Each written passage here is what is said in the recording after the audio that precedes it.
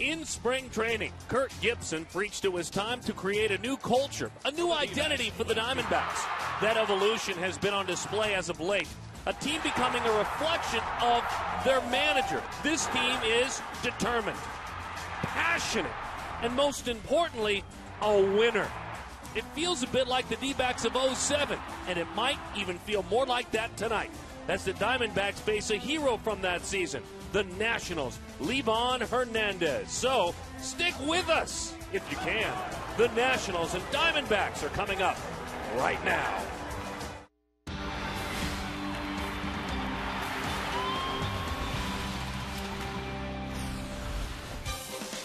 Oh, time to close the roof. We have officially reached triple digits here in the great city of Phoenix, Arizona. Downtown Phoenix, Chase Field, where tonight the Arizona Diamondbacks look to continue their 21 game rule, and they do so against the visiting Washington Nationals straight out of the nation's capital. A real build team doing better each and every year, no doubt. Now, what does it mean tonight? Let's take a look at the standings. Already, Colorado has defeated San Francisco, so Arizona has moved back into a first place tie with the San Francisco Giants. It's June. They have a chance to be in first place all alone with the win tonight over the Washington Nationals. Hi there, folks, and welcome back to the ballpark alongside Hall of Fame broadcaster Joe Garagiola. My name is Darren Sutton, and Joe, I have to ask you right away a 21 game run in which this team has only lost four times. You watch on television, you watch here a lot in person. What sticks out to you? The unpredictability of this team. That's the one word that says it, and I think we said it about three weeks ago when Ryan Roberts got in there. He's the one that did it, and I would love to have a tape of the meeting when the season just started and won now because they're taking this club pretty seriously. They're not. They're, afraid to play him a little bit. I'll tell you that. A respect factor, certainly. So let's talk about respect. As Joe Saunders is on the mound, but he faces a guy who you've got to respect in Livan Hernandez, even though you know he can be 83, 84, 65, 67. But Livan Hernandez in the big leagues is about as dependable as there has been since the new millennium. He's fun to watch pitch. Well, he is because he is a pitcher. He's not going to dazzle you with his fastball, his curveball, or whatever. When he changes speeds, he throws like a 40 mile an hour curveball, like it's on a string, and yanks it back when it gets near the plate. He's a good pitcher. He says he wants to pitch five more years. His birth records, anyway, say he's 36. I'm not sure if I buy that, but five more seasons, I guess, doing it the way he does it, he could pitch five more years. He could pitch another 105 years the way he does it because he doesn't he really doesn't strain his arm. He lets the, the, fielders behind him make the play. All right, certainly glad to have you with us, Joe and I, and you. Thanks for inviting us into your home tonight. We're going to talk about another Joe when we come back. We're speaking, of course, of Joe Paterson. He's kind of that third musketeer. There's J.J. Putz, there's David Hernandez, but you better include that man because he, one of the most important pieces out of the bullpen.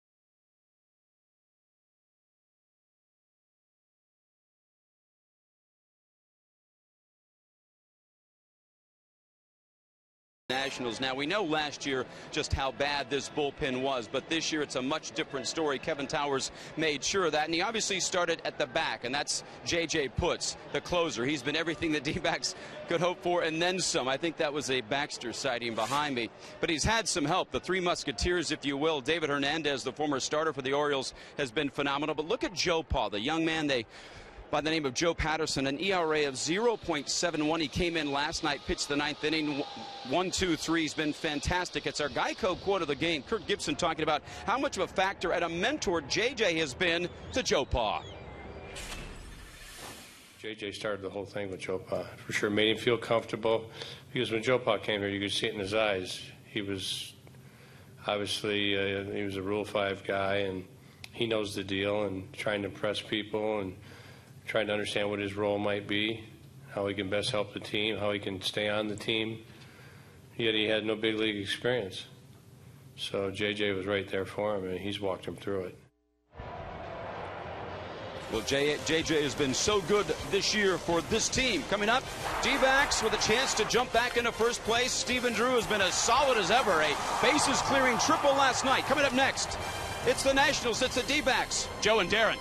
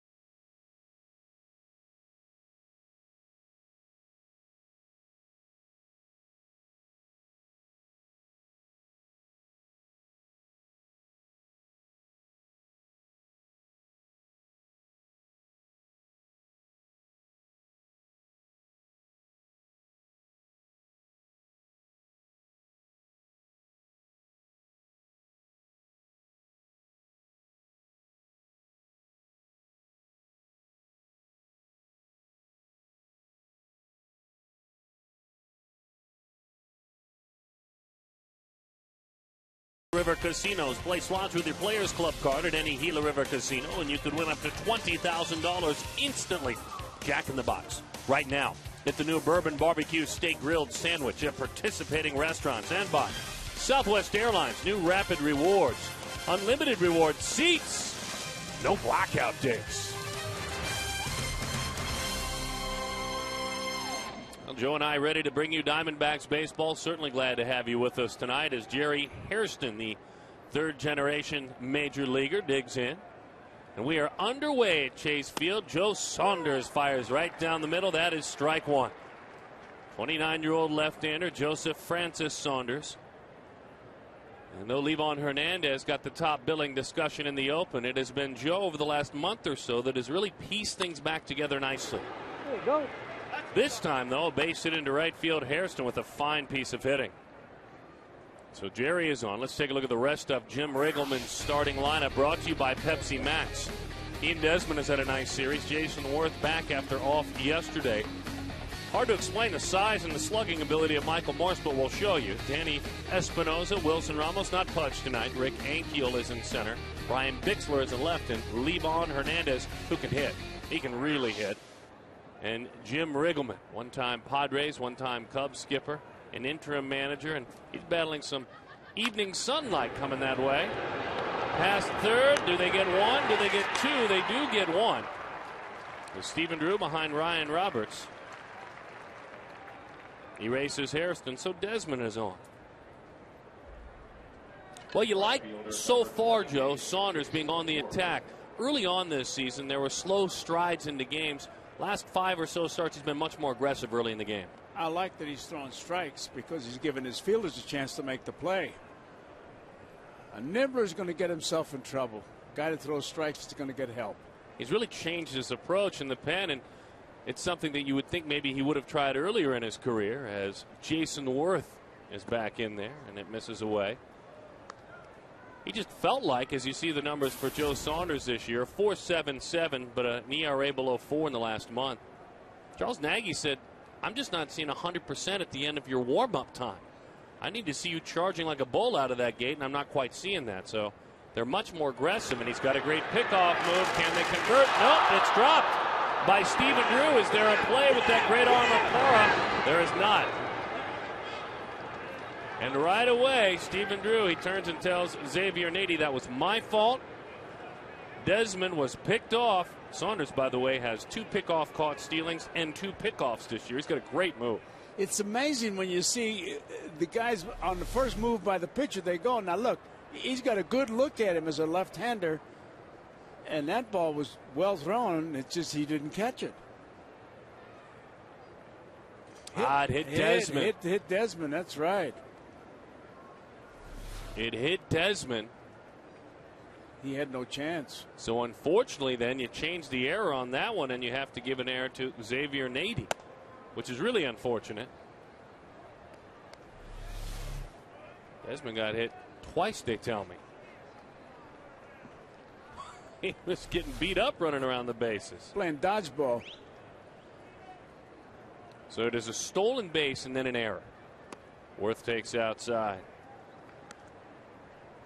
Jayson Werth, eight home runs, 22 batted in, and a guy who was brought in to be the centerpiece of the likes of Stephen Strasburg going forward and Bryce Harper going forward. Top picks the last few years. Werth is there long term.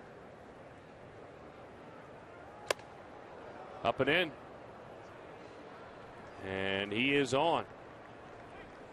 Let's take a look defensively at the Arizona Diamondbacks.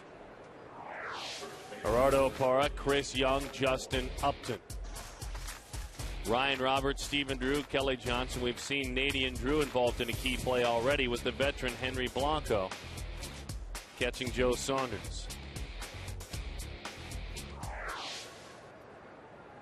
And this is a big fella. By the way, Werth was hit by a pitch. That was not ball four. That was up and in, and it hit him. I don't think he's seven feet five, though, Darren. Well, my goodness, Joe, I understand what you're saying, but I, I also don't think he's 6'5, 220. in. So you were listening the other night. We did mention that. Joe keeps us honest there. We did kiddingly say that. Uh, I mean, 6'5", 220, and I've stood up next to him the last couple of days, nowhere close to 220. And I still have him listed at about 6'8". I tell you, if he said to me, I'm seven feet tall and weigh 250, I'd hug him. Look at the size of him. And when he was signed, by the White Sox several years back. He was a shortstop. That one is inside. It's the only time the word short was used talking about this guy. Oh, they've added 10 pounds to his listing. So he must have had some good food here in Arizona because he's put on 10 pounds since game one. There you go. Love the way he stands in the batter's box. Doesn't wiggle the bat. He looks like a statue belongs in a park. Look, Into the dirt it goes. Two and two, the count. Two and one make it. Well, those hands have to come back to the body at some point, right? Right. But as big as he is, he can make a telephone post come back. Look at him. That's uh, rosin or something on that bat. I don't know. Pine tar, red pine tar. They got so many new things now. Two and one the count on Morse. A high strike. Morse didn't like it. Big fella, you're really, really tall. Tell you, when you're that tall and you get a base on balls, they should release the pitcher. two and two the count. Morse has hit in 11 of his last 12, hitting 417. Fastball blew him away. Set it up with the breaking ball the pitch before. You want to talk about a huge out, two outs, that runner stays at third. He just challenged him, showing confidence in his ability to get him, and he just threw it right by him.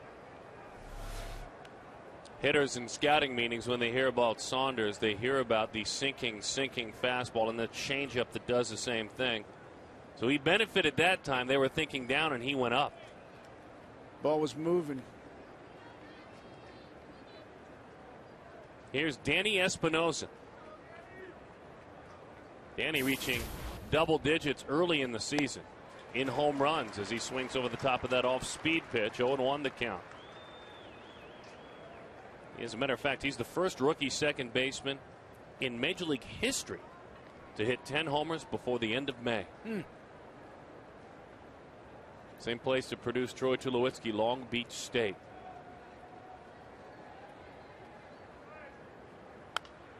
Big swing up toward that closed roof. Roberts watches it sail away. But Blanco will let you know where he wants that pitch. You could see him shift really close to Espinosa there. We also got a tip off on Roberts. He hasn't batted yet, and his suit's already dirty. The right leg is already brown. Look. Does that surprise you? No. I'd like to know how he got it. 0 and 2 the count. I think he just keeps a bucket of dirt by his locker. That's right. Uh oh, he went up again, and that one was crushed into the upper deck, but it's foul. Bouncing all the way back down to the lower part of the ballpark. He tried to do the same thing he did to Morse there to Espinosa. Yes, he did. Picked the spot, but Espinosa jammed it. He started, he triggered it early. They plan to pull in the infield. Johnson close to the second base bag. Big hole on the right side. Runner takes off and moves up. So a changeup into the dirt. Stolen base there for Jayson Werth. That is seven on the year. He stole that one on Saunders. Why isn't that the famous defensive indifference? Now, I understand why you say that, but I guess it's because it's the first inning. Game's still hanging in the balance. Oh, I see. You made that up. The defensive indifference stat, or this, or this part of the ball game. Both of them. Yeah, you're right. One and two, the count. Danny Espinosa. In this series, Danny hasn't been able to do a lot of what he had done coming in. Two of seven with a walk. Look at the homers, though, with runners in scoring position. Into the dirt with a changeup. Two and two, the count. Saunders last time out won because he got a ton of support. He pitched just okay, he will tell you. Six innings, four runs allowed. But when you get 15 runs, you're just fine giving up four. You're going to win. You had better win. Outside, three and two, the count. That explains the Brooks Lawrence theory. See, when they asked Brooksy, they said, uh, What makes a good pitcher? He said, A lot of runs. Simple enough. Ready to roll on deck is Wilson Ramos. Good looking catcher, by the way. He's got Pudge Rodriguez to teach him. He lost him. So that good looking catcher Joe was talking about will be able to hit before he has a chance to catch. I think he halfway pitched around him. And when Werth took second base and made first base open, they just pitched around him. His 20th pitch is about to come home. But for Joe, at times, this is what gets him in trouble. Kind of the tentative nature in which he attacks and then all of a sudden tries to turn it back on. Nibble.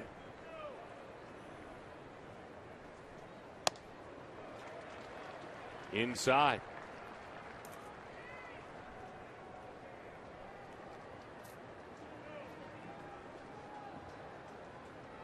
He just wants to make sure because that was a quick call. Call it a strike. I guess he called the corner, but just a quick punch there. Carapazza behind the plate. Never really saw anything truly indicating strike. No. We'll go with 0 1 at this point. That one is inside, so the count is evened up at 1 and 1. One ball, one strike to Ramos. He's one of six in this series with a double. He has driven in three, already in hot water as Saunders.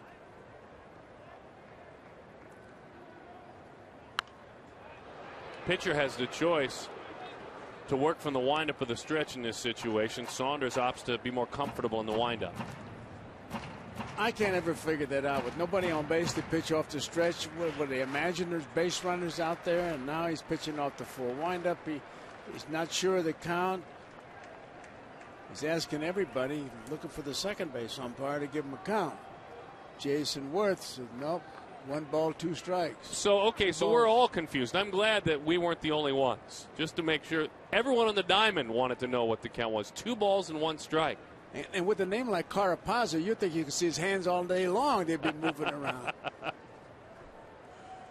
The 2 1.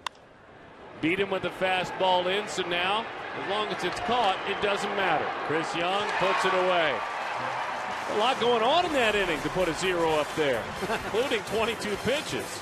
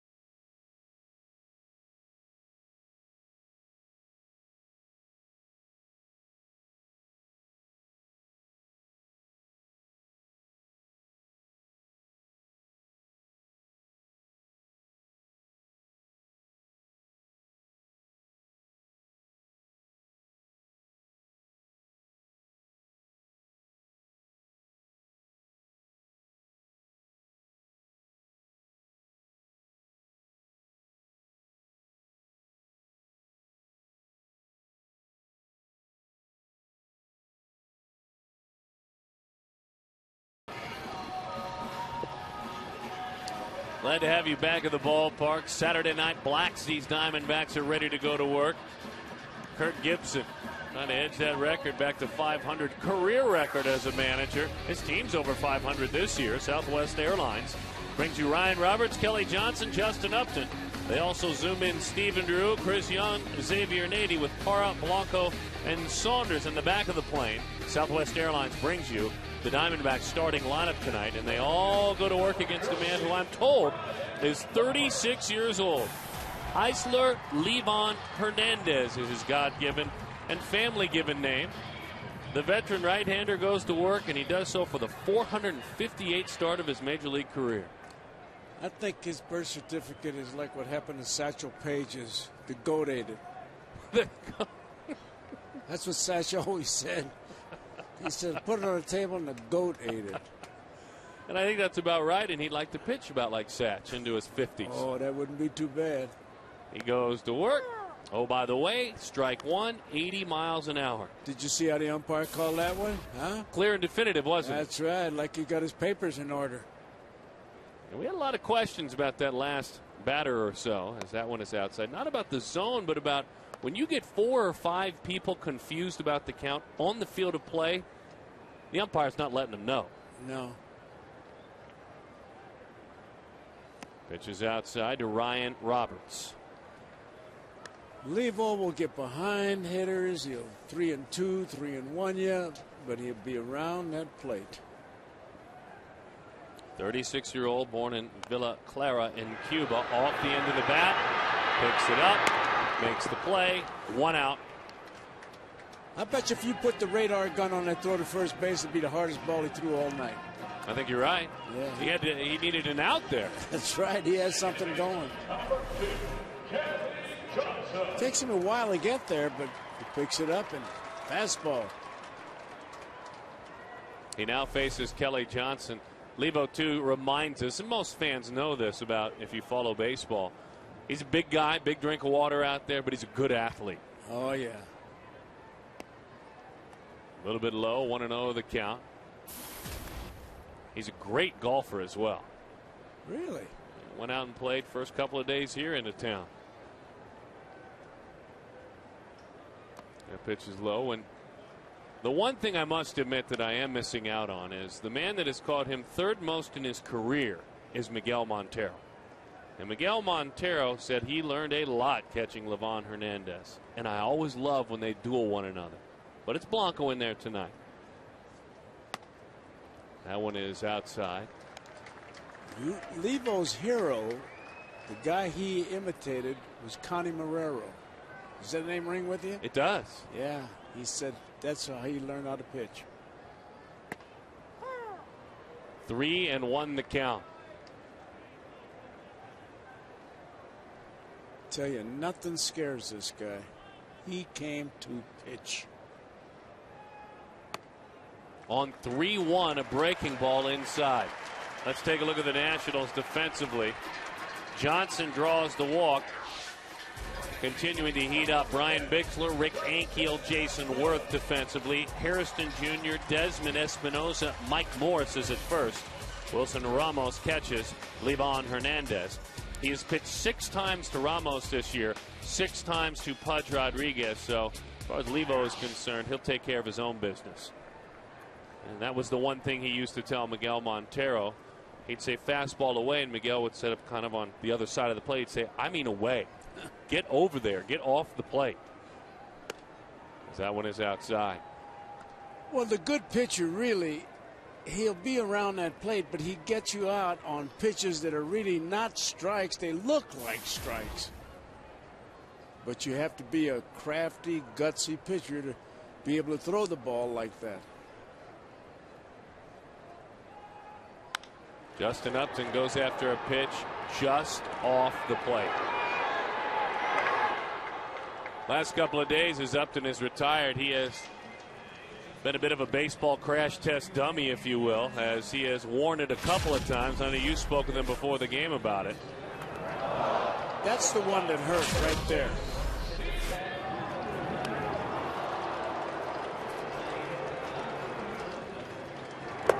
That just nicked his shirt. Three times he got hit, twice on the shirt, but that first one took care of all three of them. He had a bruise. He's had a nice home stand. I know we sat and talked to him for a while today about a lot of different things, and at some point we'll we'll delve into it because I love your take as well on what this man hitting did last night, hitting three and zero. Stephen Drew as he takes. I tell you, people just don't realize how difficult that is to hit 3 and 0 because you, you know you're going to get a fastball nine and a half times out of 10, but you got to get it in a certain spot, and guys just get too anxious. I've seen some real good hitters who could not hit 3 and 0. You mentioned one name to me that was stunning. Monte Irvin. Monte finally said, "Don't give it to me. I, I get too anxious." Because you don't, you say fastball. I want a belt high. I want it inside, and you're going to look at like a little square. Not a lot of room, but if it gets in there, and that's what uh, Stephen did last night. I mean, it, it's like hitting the jackpot. 2 and 0 the count on Drew. Drew gives it a ride into right center field. Toward that wall it goes. Over and up the wall. Racing on around is Kelly Johnson. Stephen heading to third with the slide and a triple for Drew. Love to watch him run the bases. And he just torched his old teammate that time. It's his favorite base hit, the triple. Right down the middle, and he knows that he clocked it, and so does Levo. Ankiel just couldn't get to it. It's a long way. Just rolls to the third baseman.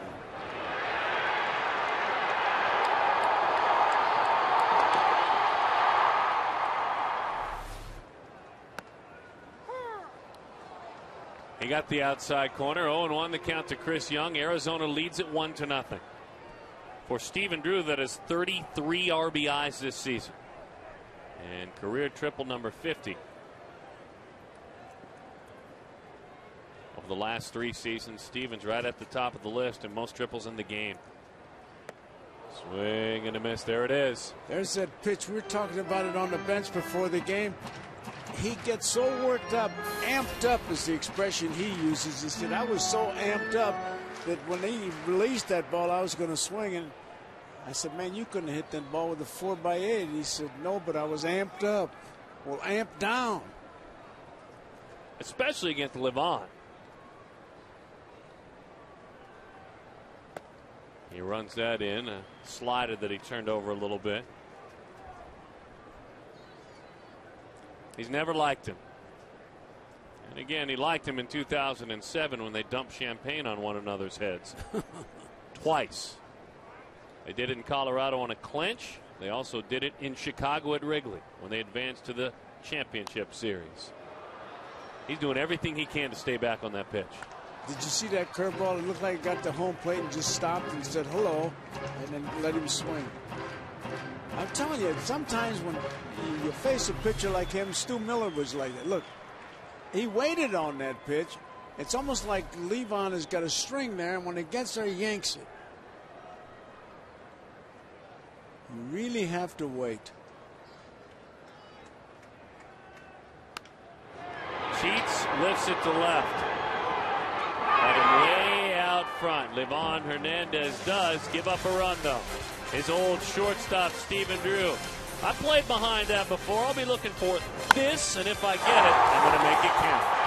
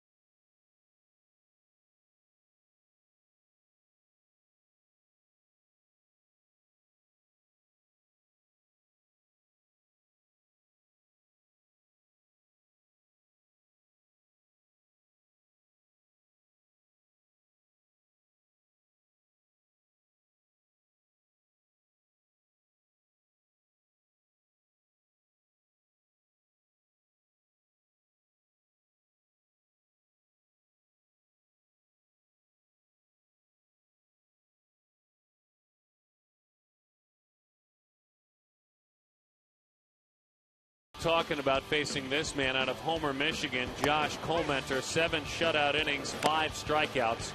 And this year he's got a 1.25 ERA. I'd be very intrigued your perspective on Josh. Well, the thing you have to figure out is his release point, which is one of the better hidden relief points in baseball. And, and, and Ankiel just kind of talked himself out of it last night. Ankiel, speaking of, puts it on the ground. His head was scrambled eggs before he even got into the box. And a lot of hitters, that's what he has done in his five starts. He's got an ERA of a buck and a quarter.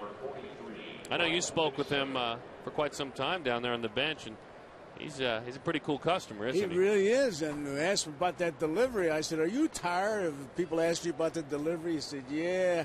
I says, like me with being bald. Everybody says, you're, you know, you're really bald. No kidding. I went to bed last night. I had hair. You hear it so much. I said, you got to come up with something new. He said, like what? I said, you know, tell him that you wash windows or something and get your arm back there. He's quite a kid. Breaking ball hammered but foul. Comes from a solid Midwest family. Said dad was the one who made sure that everyone stayed on track, but everyone, according to him in the conversation that Joe and I had with him, everyone in his home was pretty even tempered. And he's very even tempered. I thought his father might be the big boss. He said, well, his mom. I said, Mama used to always tell you, wait till your father gets home. I said, no, I wasn't that bad. Good kid.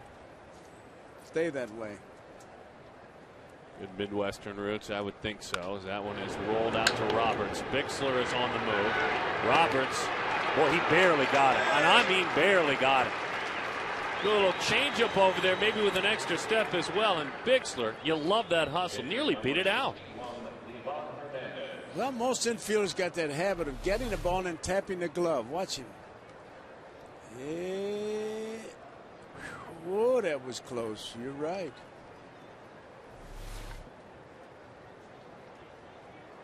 I would imagine mental note made right there by Ryan Roberts. Livan Hernandez can hit. That time he broke his bat. He's none too pleased with that bat. Just threw it away. Darn that bat. I'm better than that.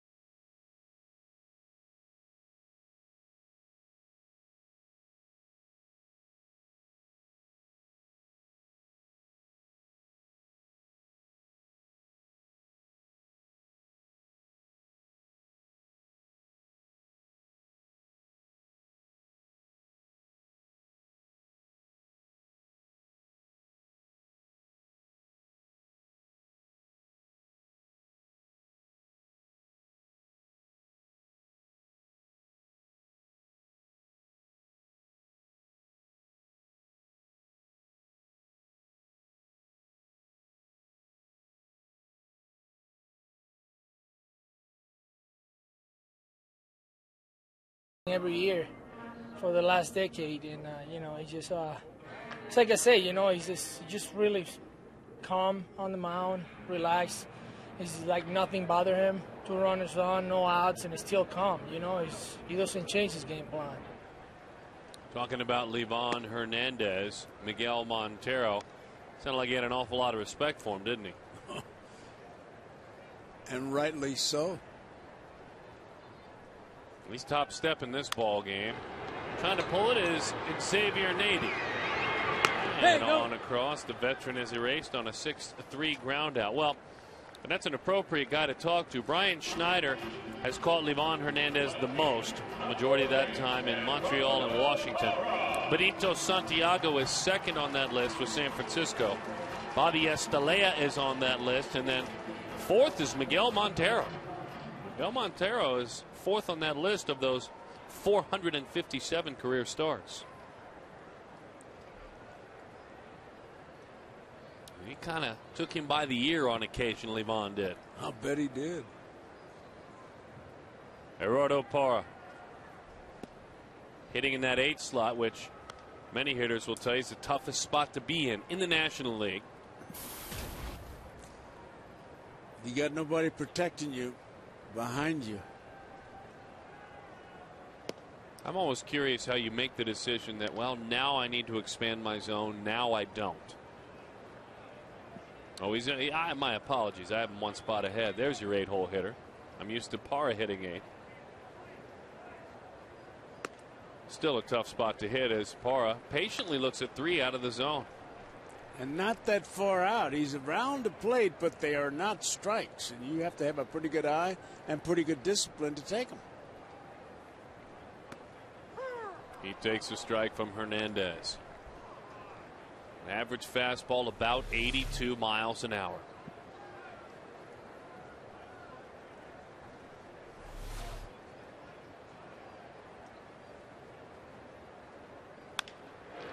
Changeup, pulled it. And he's angry with himself for the second out of the inning. Anytime the Diamondbacks score six runs or more, Taco Bell gives away three free tacos with a large drink purchase. Four to six the following day. So instead of facing his old catcher, now here is that eight slot I spoke of. He faces Henry Blanco. Blanco's been an interesting study as he takes strike one because when he plays, he homers. He's been hitting the fastball a mile. He's been hammering it to use the expression you hear most around the clubhouse. Off the end of the bat, what do you think about that Don Baylor conversation? Folks, we had a conversation with Don Baylor during the game last night in which Baylor had his guys ready, said, We know he throws a curveball and we're going to hammer him. He's just a good coach, made a good manager, big asset on the team. I thought that was very interesting. The 0 2. Off the plate, that's strike three. He just made that look easy. One, two, three.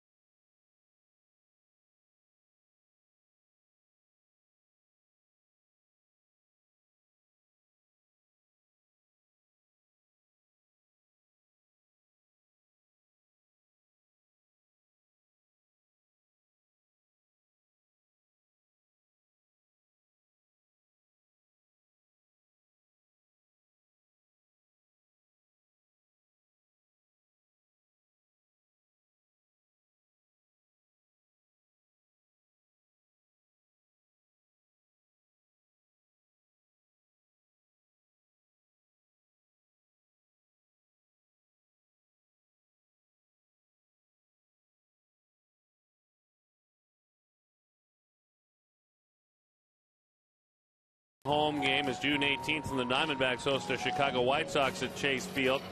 I'm told the first 15,000 fans to the game take home the D-backs trucker cap.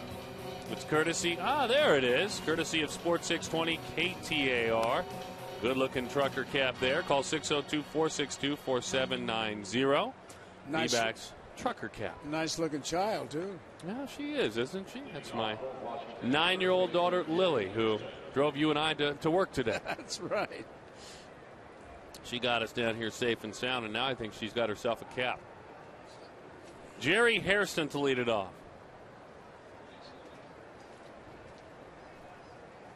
Boy, Livan Hernandez got things comfortable real quick. As that one is up and away.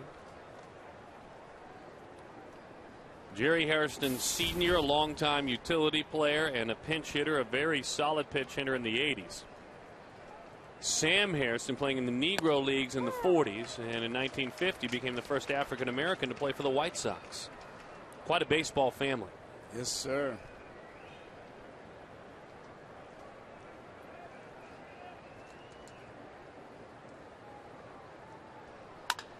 Broke his bat, and it's a fair ball. And Jerry's on the move. Over to get it is Parra. He's got that big arm, but Hairston hustling on around, races in there. And Jerry Hairston with a double, and that bat just snapped. I mean, it went off in chunks. Not like it's cracked. Watch this thing fly off the home plate. Look at that. He's got a handful of toothpicks.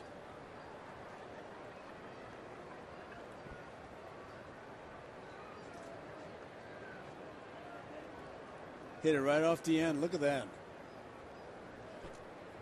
You know, Louisville Slugger used to make all the bats, but Upton's got a bat made by Sam somebody.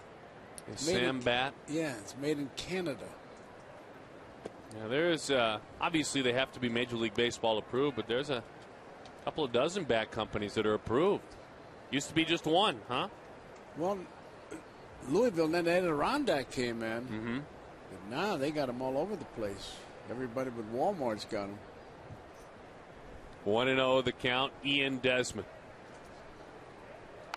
Pushes that punt to the right side. Saunders falling off. Backhanded flip. He got him. What a play. He moved the runner up, but there's no doubt Desmond was bunting for a base hit. And here's the play.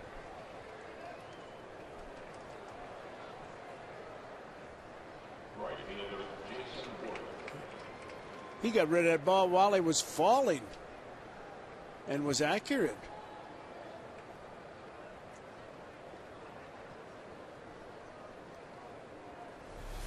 We always say it because when you watch sports, you get used to it, but go try something like that out in your backyard and see if you can go ahead and flip the ball accurately about 25 feet.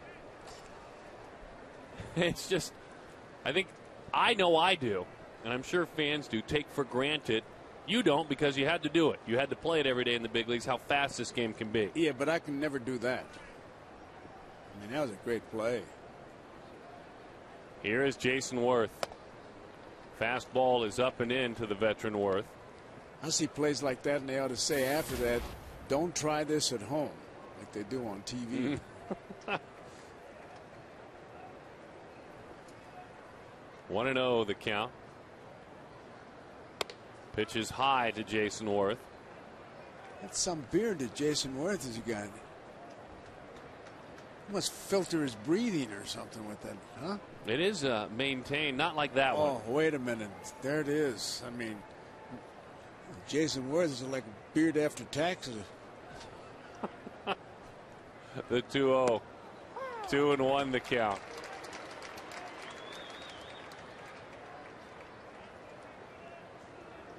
Baseball family, Jayson Werth, like we were talking about the baseball family with the Hairstons, but Jayson's grandfather, Dick Schofield, Ducky Schofield, and his uncle is Dick Schofield, the infielder for the Angels. So certainly a baseball family from Jayson Werth's background. I think his grandfather, Ducky, with the Cardinals got kicked out the first game in the big leagues. Really? Yeah, Stanky was the manager, and they were jockeying the umpire. Change up, he lost him. And uh, umpire came over there, and he's going to throw somebody out, and Stanky pointed to Schofield, and he launched him. And he made him. he made him take the bullet, the rookie. Yeah. So Werth is on, drawing a walk. It's a comeback for Werth. He had a serious injury. And you were describing, you and I were both talking about it on the drive in, a unique injury that uh, I, I, know I'm intimidated to pronounce. Oh. But an injury in that wrist that you had to be specifically looking for. It was a, a hidden injury, so to speak. And he went home, and a doctor who formerly worked at the Mayo Clinic told him he should go to Rochester and have somebody look at it, which they did. And they sewed it together, and he wears a little protective uh, I guess, wrist. Uh, it's not taped or anything, but uh, for a while there, he was having all kinds of problems. Yeah, you can see with him standing out at first, still has that protective sleeve on. Jayson Werth, who has, by the way, been good for this man. Wisely, Jim Riggleman. And you see Werth protected that wrist right there. Wisely, Jim Riggleman said, Mike Morse go stand by Jayson Werth. First of all, they're both huge guys. But Werth was a late bloomer. It took him a while to become who he is. He bounced around trying to find full time work with the Blue Jays and the Dodgers as Morse fights that one off, and it's a foul ball. And Morse has gone down the same career path. He's not a rookie. He's not first time through Mike Morse. As a matter of fact, he's been around for a while, and he has had time with the Mariners. He has had time with the organization where he started with the White Sox. There's that protective uh, wrist I don't know what you'd call it that, that he wears. Fires that one over. He said he looked at the bubblegum card and he's swinging, and you could see he couldn't turn his hand over. Got a nice contract going to the Washington club, though, I'll say that. He did. He got a very nice contract. That pitch bounces, and it is away. A little bit more on the big fella in the batter's box. We bring in Brad. Brad, what do you have for us? Well, you know, Thursday night, uh, Morse had such a great game, four for five, and I grabbed him for our post-game show for an interview, and he said, yeah, sure, but I don't want to talk about my numbers. He came into that game hitting over 300, and again, those four hits, but, you know, he's a young kid, but he knows a veteran move. He doesn't want to talk about the personal stats because this team has been struggling, and so I said, hey, you got it, and we, we wanted to talk about uh, their win that night. So a pretty, pretty uh, mature young man, and a big young man as well. That he is. And I wanted to talk about his numbers. Thank you, Brad.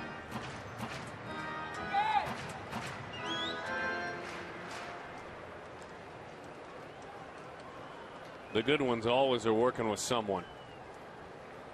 And that's nice to have a manager you can go stand by if there's any questions. Sometimes the managers find you and hope you ask the right questions. And if you don't, they'll make sure you ask the right question. Swing and a miss. A changeup. Well, he got him to chase a high fastball the first time with a runner on third. This time he gets him to chase a changeup.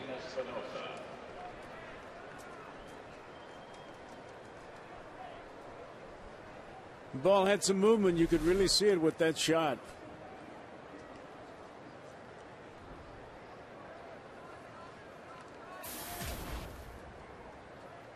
You talk about frustrations. That's twice he has struck out with a runner on third. That'll have you banging your head against that dugout wall. Mm. With less than two outs.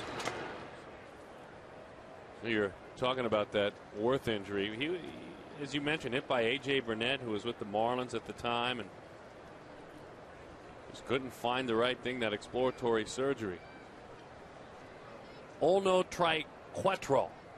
I don't know what. I... Little number back to the mound. I can't say whatever Werth had done, but what I can say is that Houdini is alive and well, and he's wearing Joe Saunders' jersey.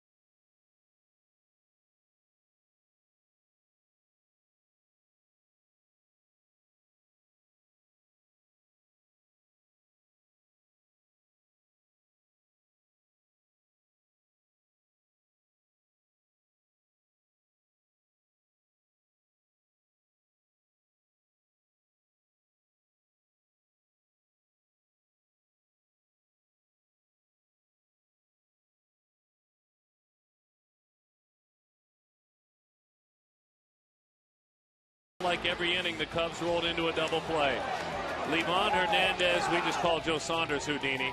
That man was Houdini that night. What a celebration it was to behold. In a locker room that's about the size of a powder room in most of your homes. They didn't care. They had a fabulous time. Wrigley Field, obviously. Joe Saunders leads it off. I remember being in that locker room and Livan, you know, he's got a pretty big jersey, as you can tell.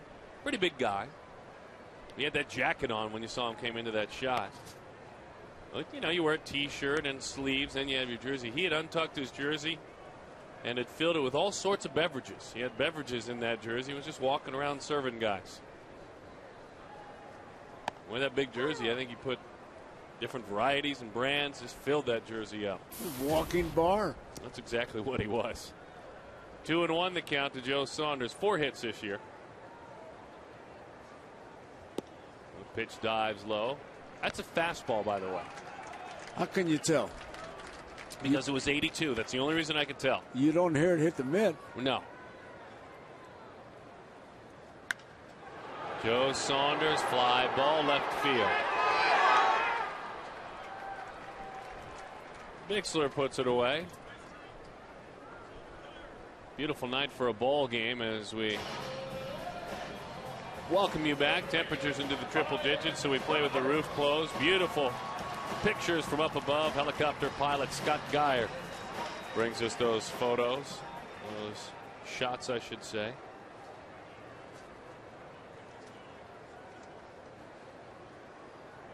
Here's Ryan Roberts. Paints the outside corner to Roberts. He's amazing to watch pitch. He really is.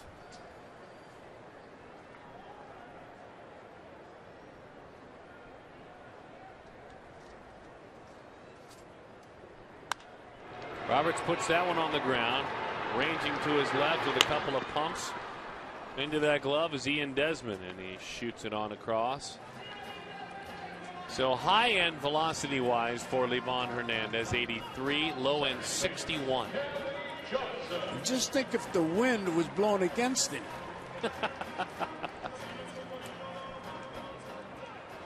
Something tells me he wouldn't care. No, he wouldn't care. He'd pitch the same in a hurricane. He really would.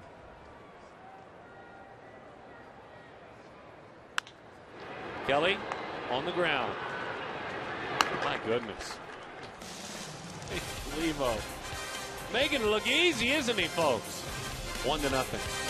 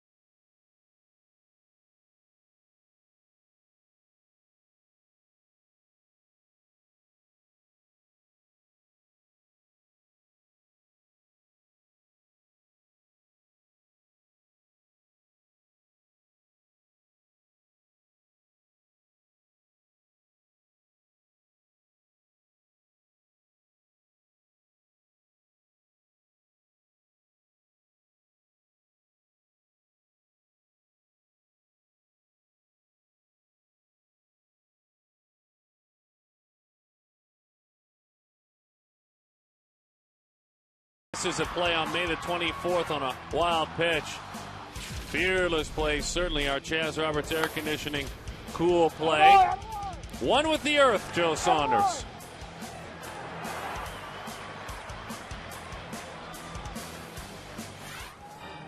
like to see Joe like that. A little, little bit of an edge to him. He didn't always let that edge out. I'll just put it that way. In parts of spring training and early in the season, there's a little bit more firm step that he goes about now. You got to give the pitching coach a lot of credit. Kind of rode him a little bit and kind of snapped him out of it. And Joe in this one, there's Charles Nagy. Bouncing ball out to Roberts, played it back. But he stuck with it. Took a couple of shuffle steps backwards to play that one. And so Wilson Ramos is erased. And now Rick Ankiel.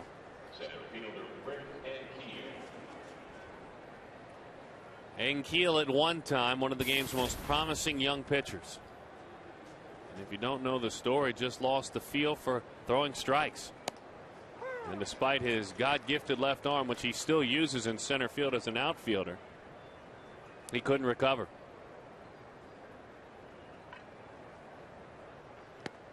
To me, it's an incredible journey to go all the way back down to the bus leagues and to make it back as he has. It is. It is. Once you get used to the big leagues and go back to the minor leagues, it's a tough ride. Speaks to your athleticism, too. I mean, most stereotypical pitchers, I'll put it that way, most stereotypical pitchers couldn't do that. That's why he's such a special athlete.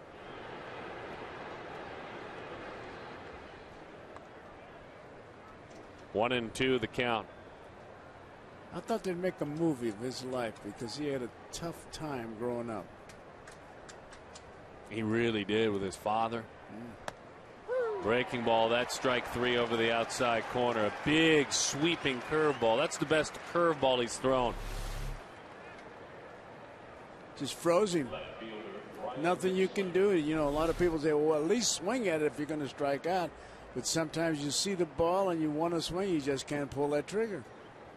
Micah Owings was asked this winter by several teams, would you like to put that right arm away as a pitcher and come join us in the minor leagues and be a position player?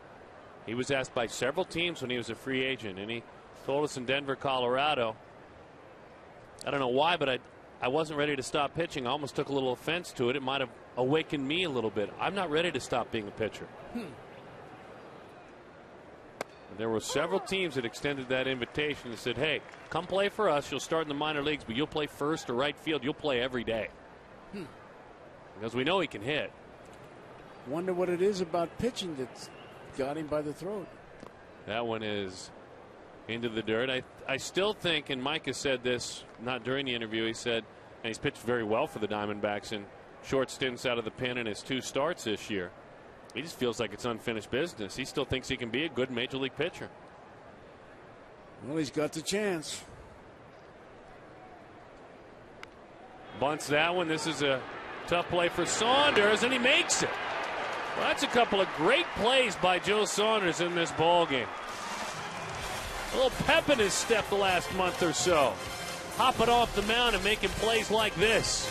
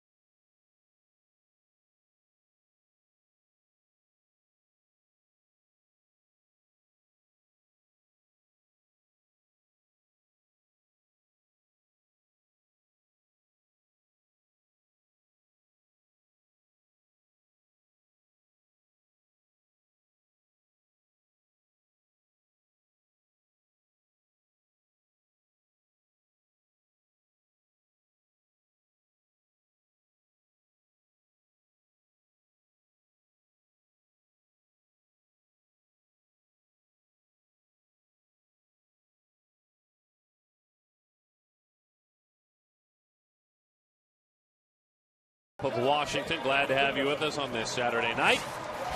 Find out how you can play Kachinko, brought to you by Gila River Casinos, and play it right here at the ballpark.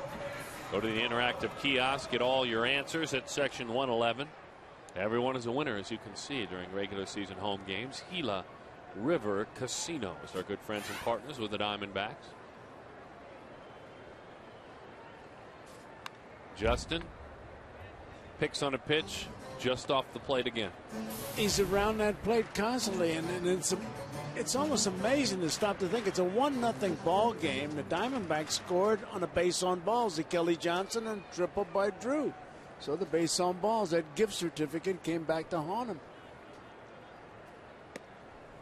That pitch is wide, dives down and away. Livan walks about three per nine innings of work in his major league career. Sometimes he will just walk you because he stays stubborn. His walks aren't because he loses command. Oh my goodness. How about that curveball?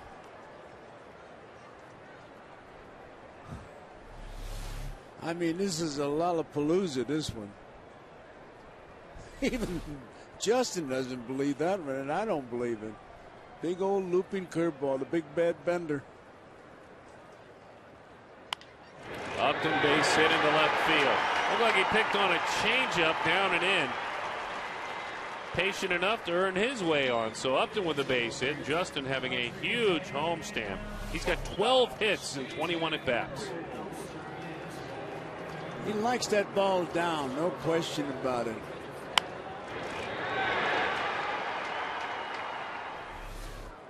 We've seen quite a maturation in this young man, which is understandable when you're only 23. He sat and talked baseball with you for a good 20, 25 yes, minutes. he did, and made a lot of sense. You got to like this kid. Here's Stephen Drew. By the way, that's his first ever hit against Livan Hernandez. He's now one for 10 against him. Like going to school. Livan threw 19 pitches in the first inning and then nothing. I mean, 10 in the second and 8 in the third.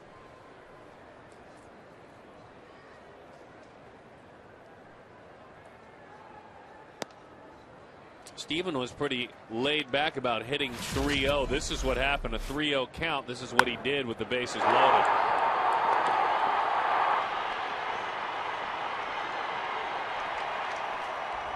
That was tonight. He tripled with the bases loaded last night on a 3 0 count. Get all these triples confused. He hit so many, but he was pretty laid back about it and explaining it to you. Yes, he was. I mean, he didn't think it was that big a deal. And I tell you, I admire guys that can do that. The best 3 0 hitter I ever saw, and I'm going back a little bit, was Jeff Heath. I mean, when he got three balls and no strikes, you could hear his legs screw into the ground. He was set, and he'd give you a pretty good swing. Here we go, 3 and 0. Takes outside ball four. Let's listen to Kirk Gibson talking about that subject, hitting 3 and 0. We were swinging 3 0 quite a bit earlier in the season, and you started to see some 3 0 off speed pitches. Actually, we did a good job of laying off them. So um, you know, you're looking in a little box right there, 3-0. You're not looking to expand the zone at all. You're looking right where, like if you were to set up a batting tee and say, "This is where I want the ball," that's where you're looking for it. So um, Stephen did a great job. It was it was very very um, kind of not that easy to execute, but did a great job of it. Good confidence in him pretty good description. A little box. That's about what it amounts to, and, and that's where the discipline comes in. However, the outside corner, even in Gibson's office last night, I spent a few minutes with him, and it's so funny. You wouldn't think that that's the word. You think, all right, three and zero, free and easy, but discipline is the perfect word. He used the same word that you use. Well, if you've played this game, you know it's not that easy. And laying off that pitch for ball four was another one. That's what I was going to ask you. Just as successful as that triple last night. Absolutely. You know, it was funny to me talking to Justin Upton about it. He looked at me and he said, Did you ever get a 3 0 hit sign? I said, Justin, I never got a steal sign, never mind a 3 0. I was at the Cubs, they made me take 3 and 2 with Simmons pitching. Three balls and two strikes, you get a take sign. How do you explain that to your kids? And he definitely had a youthful look in his eyes when he asked you. he really did. He really did. Those eyes wide open. He said, "What? What do you mean? Didn't you ever get to hit three and zero?" Oh? the pitch is outside, one and two. The count. It was refreshing. It really was.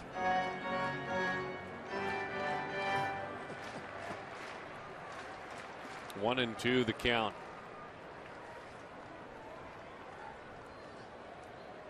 One to nothing. Arizona leads it. Chris Young with nobody out. Just in case Upton scampers back to the bag. Now, if you're going to fake a throw, that's the way you should do it. He faked it so good that he had Upton sliding back to the bag. Looked like he landed funky on his wrist, a little grimace. One and two, the count. A lot of room on the right side of the infield. And that one is outside only because Danny Espinosa is trying to keep Justin close. Danny's just going to make sure Justin doesn't get a big secondary lead. There's a lot, a lot of room there. I had the wrong television.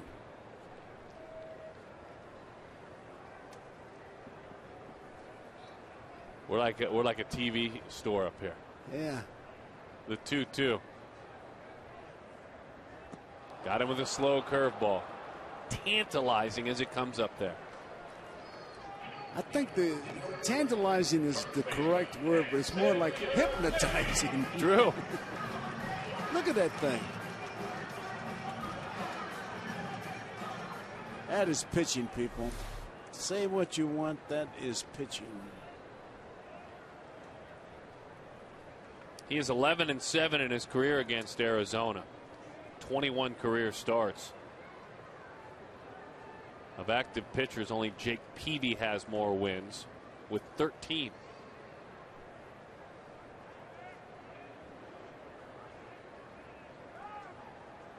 Another pickoff throw. We told you Espinosa was close.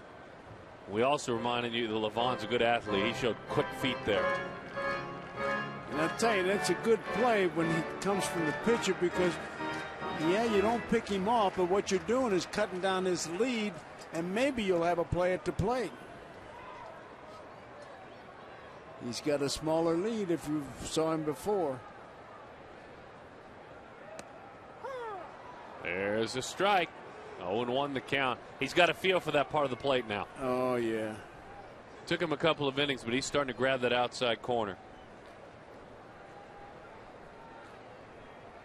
He is very good, Livan, at letting umpires know, and he'll feel for that zone until he figures out how close he has to come. Outside. And Joe, what I mean by that is he may go an inning outside, outside, outside as he edges closer, but if he if he'll get a call two inches off the plate, he'll never come over the white of the plate then. If umpires will give him two inches, he'll never come over the white. Well, he's asking for it by pitching like that. That's what, what he does best. If you make him come over, this Vic Carapazza has made him at least come on the black part of the plate. He'll get a feel for it. The curveball is away. Nady in his career coming in against Livan, 7 of 15. And he's homered against him as well.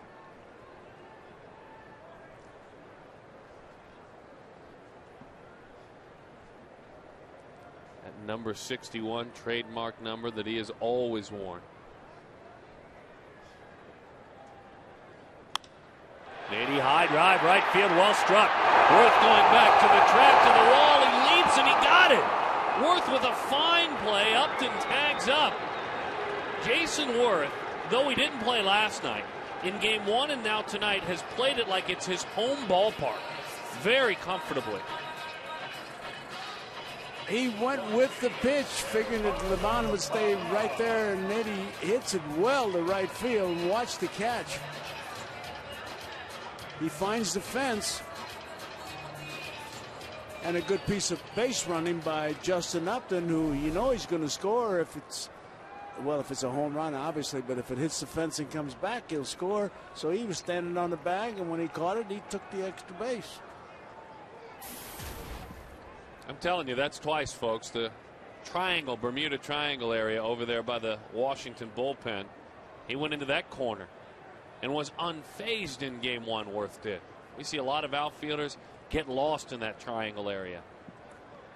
And that was in game one. Barely broke a sweat, did he? Curveball, 1 0 the count. There's an area out there. You look by our camera down there, that camera down there, that little triangle. Outfielders don't like that area. And he went right into the corner there.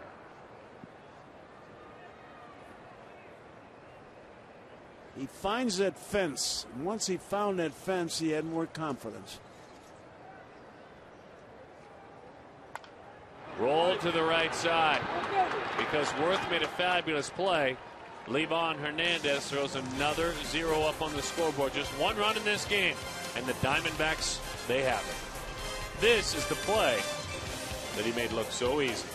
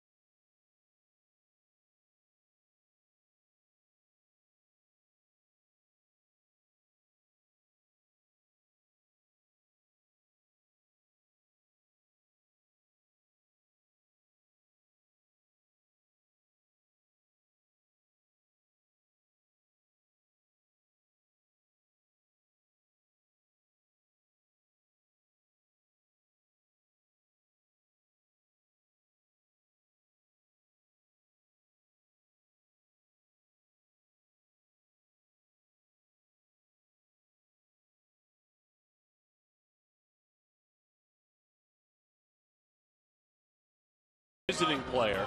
That triangle. Werth doing a great job. Our AT&T trivia question. Name the only two active pitchers with at least 40 complete games. They are active and they have thrown at least 40 complete games.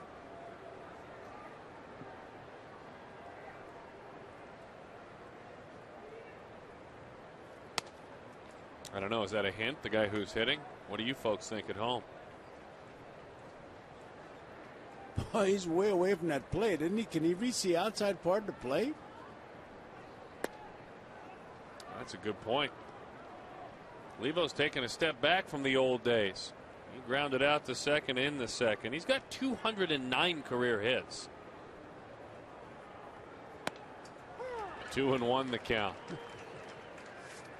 He's got 10 career home runs as well.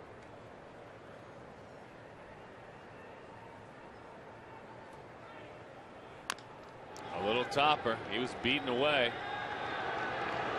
Livo busting it down the line. They just get him. CenturyLink high speed internet, high speed pitch.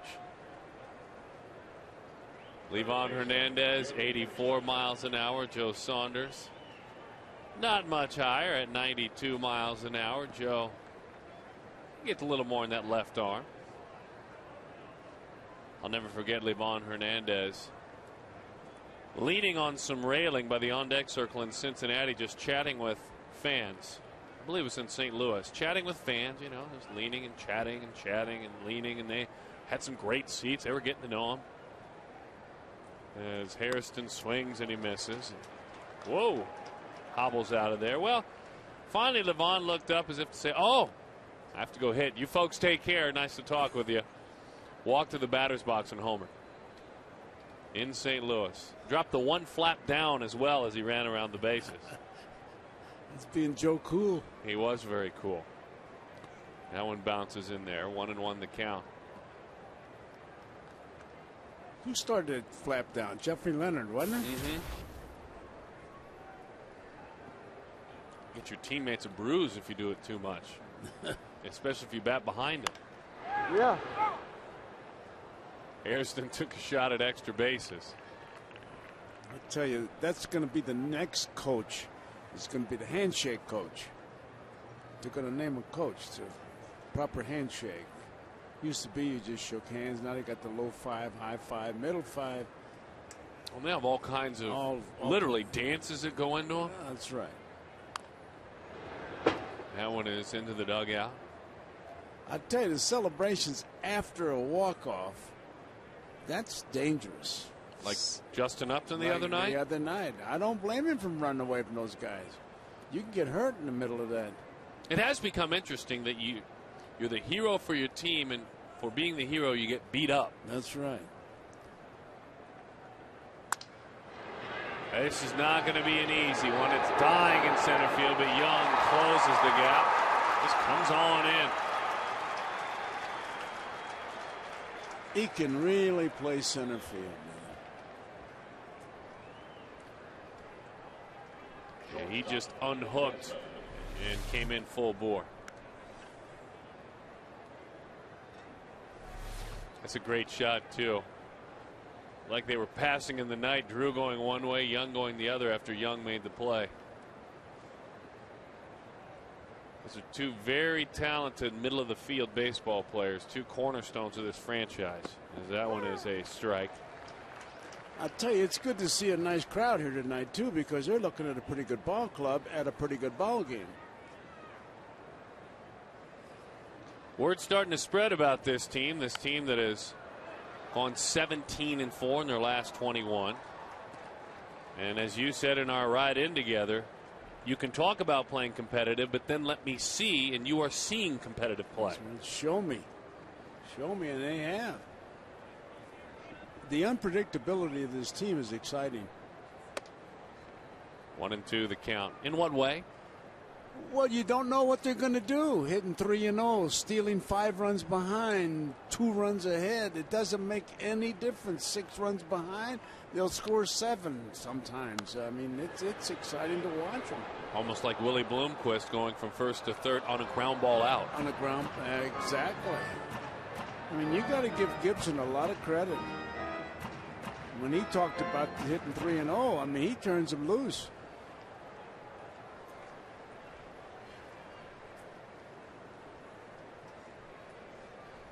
Yeah, they're shining a little brighter right now, these Diamondbacks.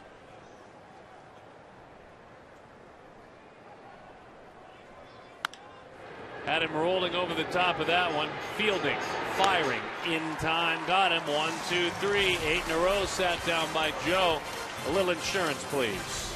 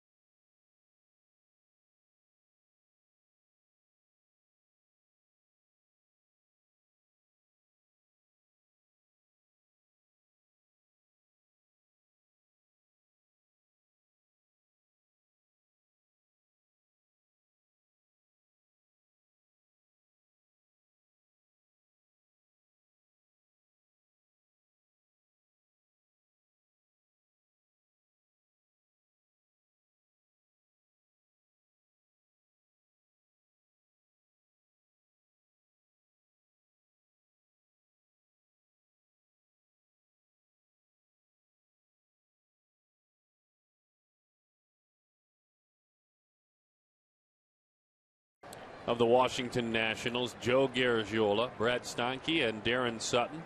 We thank you for inviting us into your home this evening as Henry Blanco takes a little mini breaking ball over the outside, and Henry's got some history as well.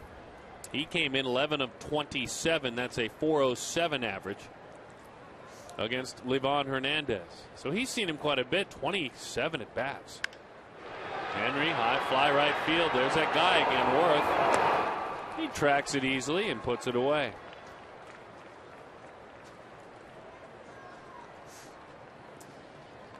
AT&T trivia question. The only two active pitchers with at least 40 complete games, Roy Halladay, Livan Hernandez. The two active pitchers with at least 40.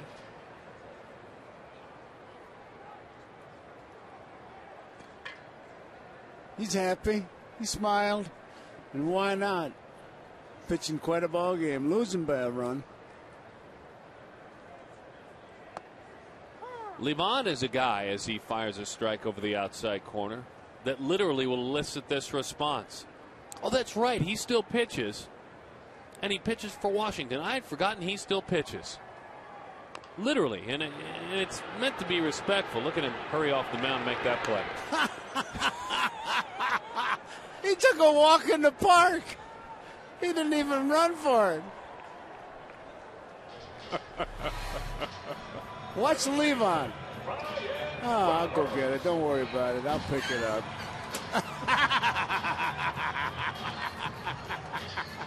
Attaboy Livan.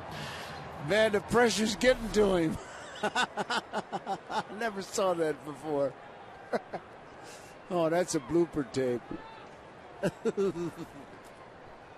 so he gets Ryan Roberts to dig in and take a breaking ball, that slow curve ball. But then you remind yourself that, oh, yes, he still pitches, and he's one of the busiest pitchers in the last decade.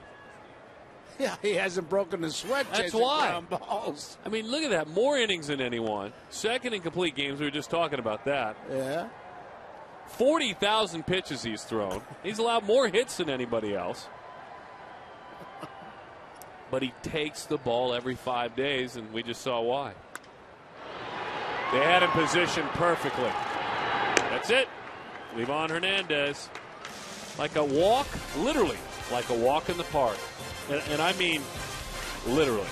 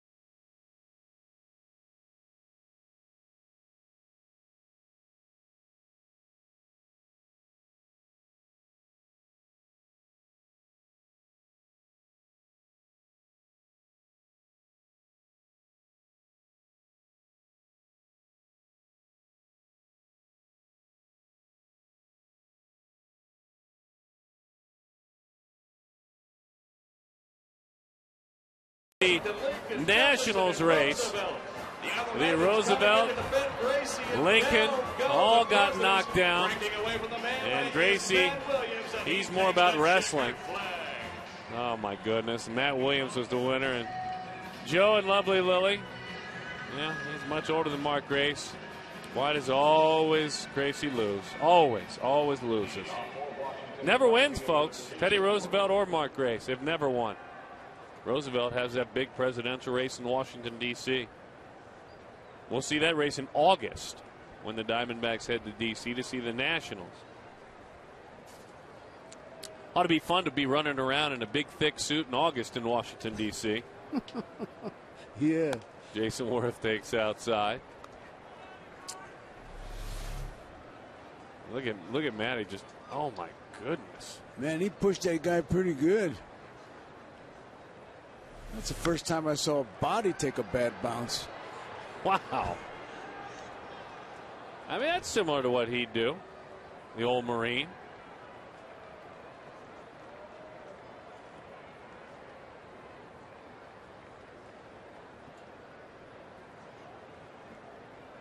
Folks love him. They love them all except for, of course, the Mark Grace likeness. Kids run and cry. Hot shot, Stephen. Leaves his feet. Hops back up. Wow, what a play.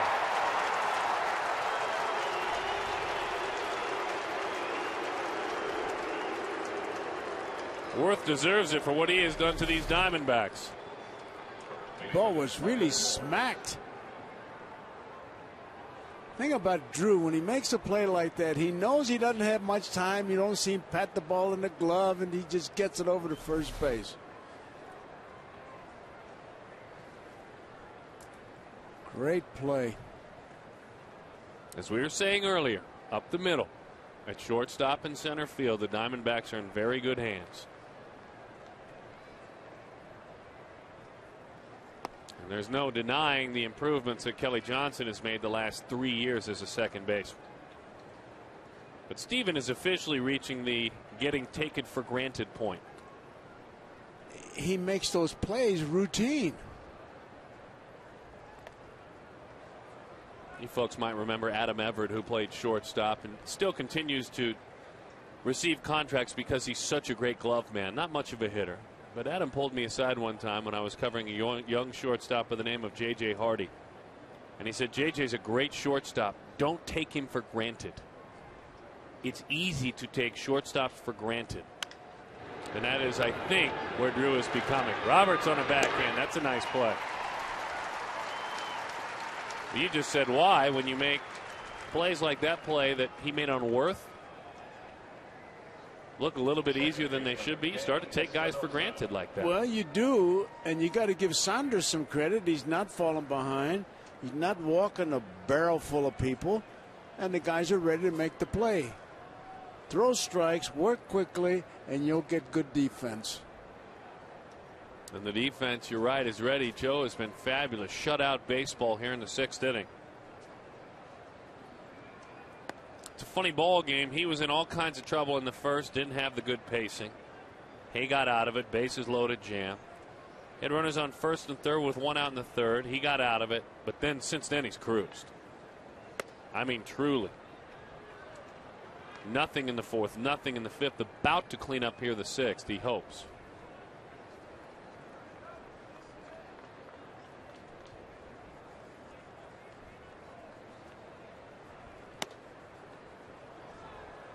It's called high. 3 0 the count. Pretty good looking pitch there.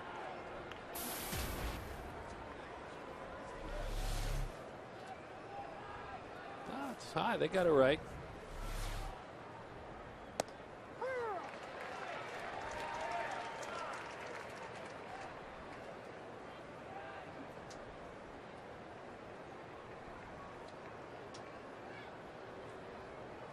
Switch hitter batting right handed.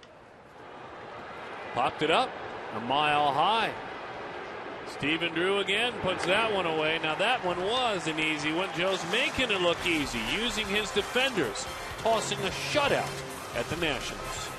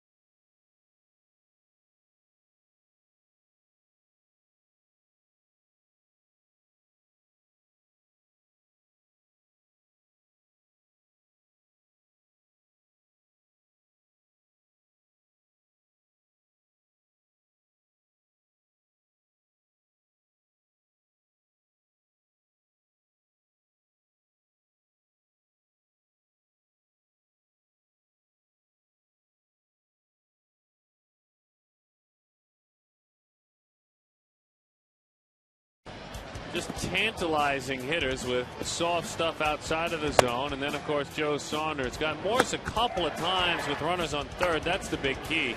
And then he helped himself with a fine play on a sacrifice bunt. Stephen Drew against Livan Hernandez after a walk. Stephen had a triple. That's the only run in this ball game. That was in the first inning. That's where we stand. One to nothing is our score. As if you've just joined us, Joe Saunders has pitched a very solid baseball game tonight. This is so far the best that we have seen from Joe this season. As the curveball is up and away. You know the irony of it all, Daron, is that when they show the blooper tape, guess who's going to be on it? It won't be Saunders for the two great plays. No, it'll be the man who took the walk. That's right. You are exactly right. You are exactly right. By the way, Joe is at 80 pitches. Some of you might have been thinking about that, so he's fine to keep on going out yeah. there. 3 and 0 Kelly Johnson. Now, Livan Hernandez, you saw the long run. That was in the first. He has been very good as well. He's had a couple of clean innings. He fires a strike.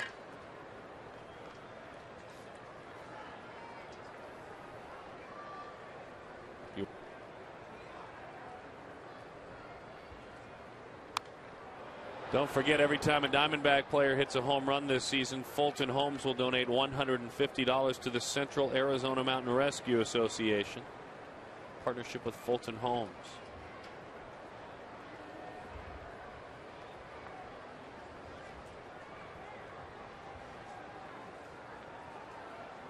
Cuban born right hander Livan Hernandez fires and didn't get the inside corner. That is ball four. He wanted it too.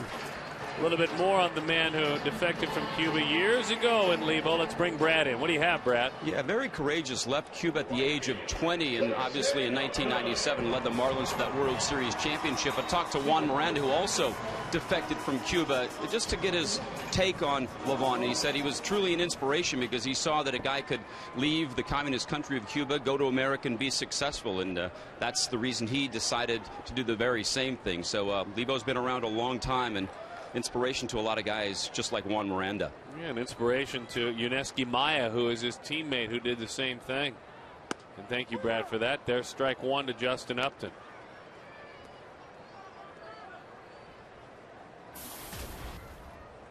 Pitch count, by the way, for Livan. Did you ever go to Cuba to see baseball? I've never been to Cuba. Have you? Yeah, we spring trained there in 52. Pretty good ball players. Used to be, it was like a shuttle between Cuba and Washington. Just a lot of Connie Marrero, Camilo Pascual. Just good ball players. You're the first one of my analysts that has told me they've spring trained in Cuba, by the way. Is that right? Yeah. Kind of unusual. I think it's unbelievable. Of course, Luis Gonzalez has descendants from Cuba. If you go back in his family, he is a descendant of the Cuban nationality. And by the way, he did a great job last night. I thought so too. Oh, yeah. He had a really good show. He gave a lot of good tidbits. He talked about Pudge Rodriguez. I remember that distinctly because we used to talk about that.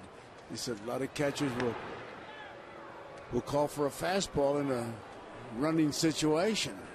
And uh, apparently, uh, Pudge had that reputation, among many reputations, because he was quite a catcher and still is.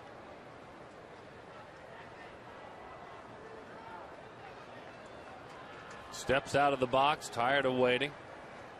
Well, Lehman doesn't shake his catcher off. You never see his head move, but he stares him down until the right signal goes up.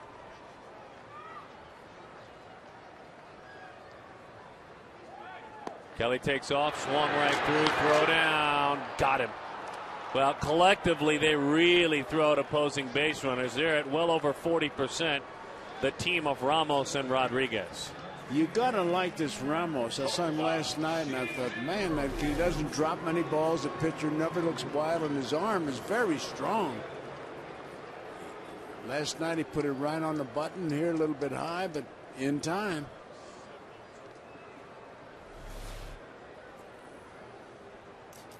And that, by the way, was a strike him out, throw him out. As Stephen Drew digs in. Drew, earlier in this ball game, tripled. And since 2008, no shortstop has more extra base hits than Stephen Drew. And he's got a pretty comfortable lead. This one has popped up. It's a souvenir. He has got 206 extra base hits since 08. Seven more than Hanley Ramirez and 20 more than Tulo, Troy Tulowitzki. That's what I mean by this guy gets taken for granted in a lot of areas, I think. And he's not in there just for his bat. He's in there for both the bat and the glove.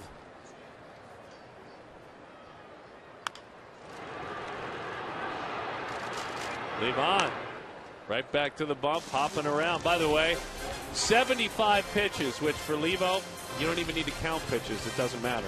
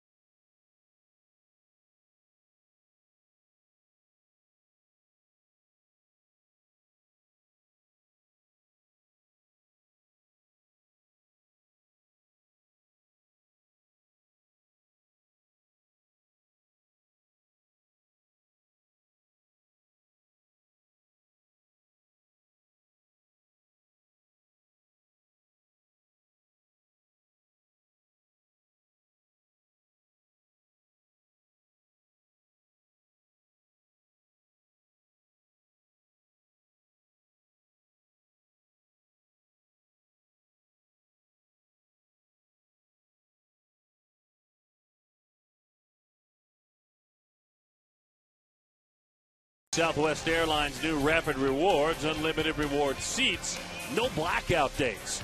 Fry's. Like us on Facebook during today's game. Receive a coupon for huge savings. Fry's, fresh food, famous low prices.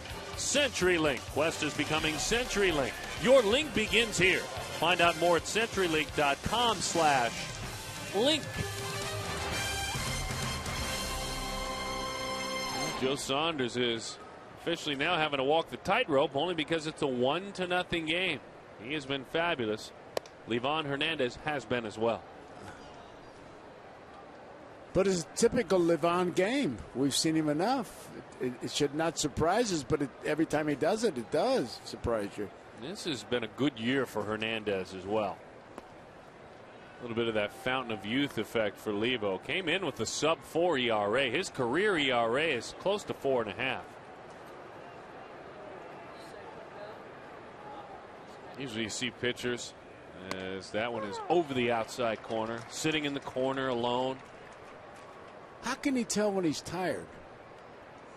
I'm not sure. I'm not sure at all. You know, they're usually off in their corner with their own towel and. Yeah, not him. Don't talk to me. Down there in deep focus. Look at him. Look at him. He's just chatting up his teammates. You got Cora on the left. He's got looks like another young teammate on the right. Come on, Livo, cheer down a little bit. and Pudge, that's why he's there. That's Pudge's seat too. That's young Jordan Zimmermann, the man on the far left on your screen. That's strike three. Meantime, Livan Hernandez is looking out and seeing his mound mate match him step for step. As a matter of fact, he's one step ahead. Pitches like this.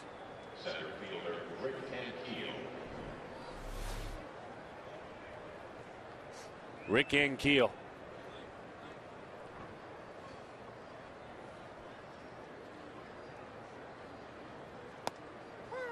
Starting to feel that curveball, strike oh, one. He's got a good sharp curveball going right now. I tell you, Saunders got to be the best game he's pitched. He threw five curveballs against Florida last time out of the 93 pitches. All five were strikes. That one is low. He really started to piece things and feel even stronger as far as pushing things back together on that last road trip. Game two of a doubleheader in Denver, Colorado. Broke his bat. Kelly squares it up. And two outs in the inning. They don't forget the 2011 Major League Baseball All Star Game is coming right here this July. Don't forget about one of the most fun All Star events, the State Farm Home Run Derby. The Home Run Derby is Monday, July 11th at Chase Field. Single game tickets for that Home Run Derby, and that's special, unique to be able to have that opportunity, are on sale now. Get your Home Run Derby tickets online at allstargame.com. And I will see all of you there. That's going to be a lot of fun. 1 0 the count to Brian Bixler.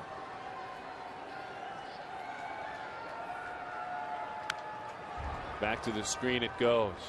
I mean, we've seen in this ballpark Mark Reynolds and Justin Upton hit it up into the food area in Friday, some of those outdoor tables out there. Will we see someone get higher than that in that home run derby? The 1 1. Outside, 2 and 1 the count. I think that's almost a given. Heck, Justin Upton got in there in the first row of those outdoor tables. Yeah, but they're getting all those room service fastballs in at home run derby. Mm-hmm. That one is fouled off. I'm going to say somebody's going to take a shot at that neon sign up at the top of the restaurant. Get the words front row. Maybe take a bowl bow.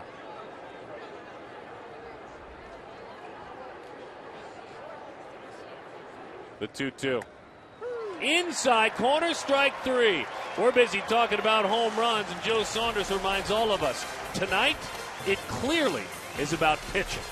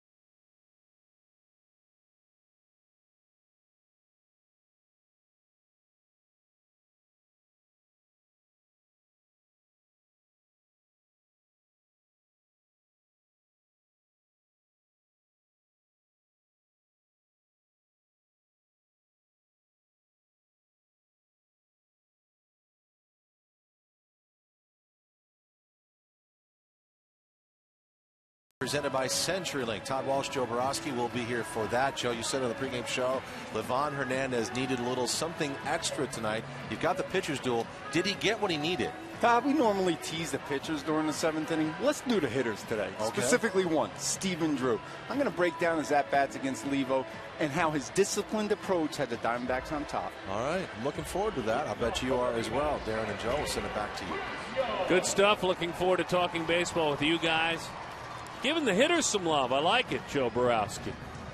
Didn't give the hitters much love when he wore a uniform. Not at all, but an interesting subject. By the way, Lucille Shrek, happy 95th birthday today. And we're glad to have you. Happy birthday to you. 95 and still lovely and beautiful here at the ballpark.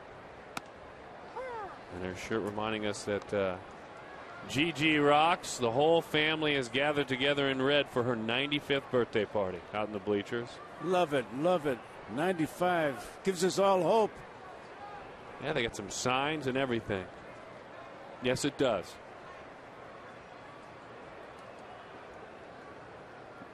Little cat and mouse game. Chris Young stepped out. Livan back down.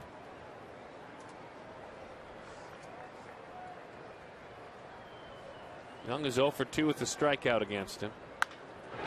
Bounces that one into the hole in left field.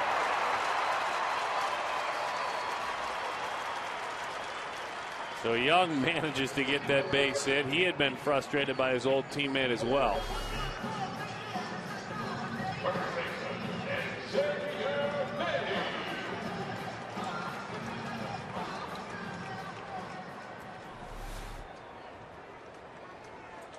So now Nady. Nady came up with a couple of runners on and one out in the fourth inning and drove a ball to right that looked like it might add a couple of insurance runs. Werth drifted back and made it look easy as he went up against that yellow line at the top of the wall. And he saved a couple of runs. Slow curveball, strike one. The fact that he's as tall as he is didn't hurt him. No, didn't mean, hurt him at all. He got up there.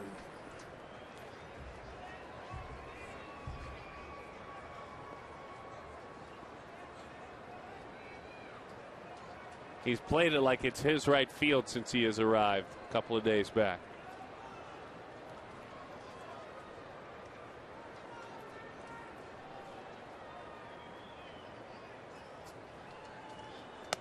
Fastball sails out of there. Grew up in Salinas, California, did Nady.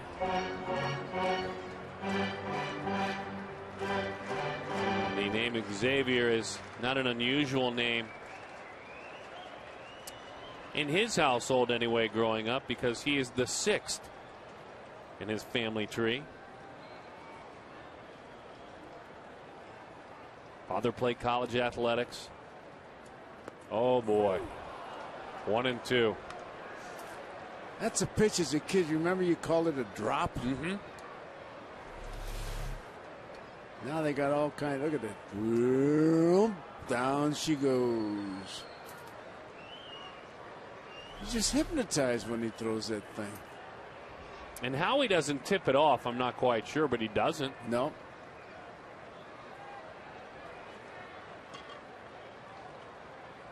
And it's got to get you thinking as a hitter. Those hitters already thinking a bunch. Well, you know, you're always scouting somebody. You heard Gonzo last night talk about the, the catchers like to throw a call for fastballs when the guy's running.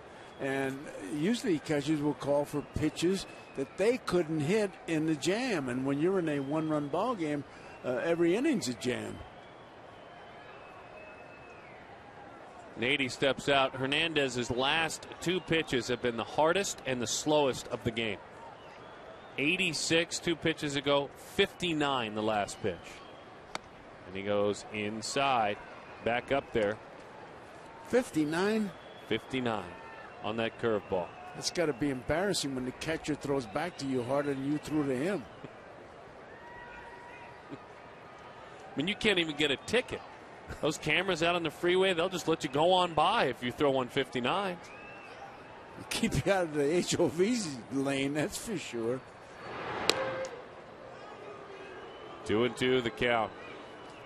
Uh, Livan.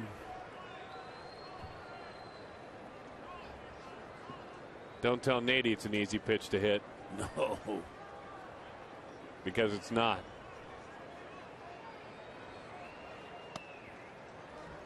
Well, he's trying to get that inside corner. That's twice, and he hasn't gotten the call.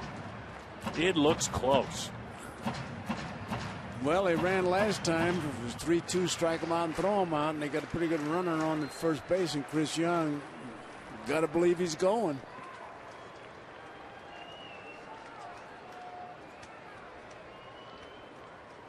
We watch Young here. He goes slow curveball and just hanging in there as Nady fouling it off.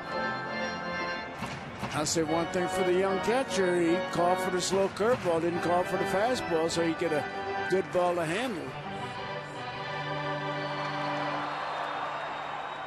Boy, I love that chest protector. It's right out of Star Wars, isn't it? It is. They've evolved.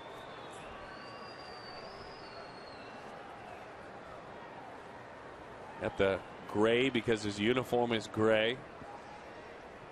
Wilson Ramos. Let's see if he'll call for that slow bender again. He's putting down fingers. The guy who's calling the pitches is Livan. Runner goes. Hot shot down the line. He picked on a changeup. It rolls into that corner. Young is hustling on around.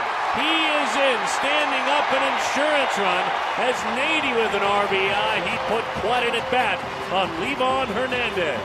Arizona 2, Washington nothing.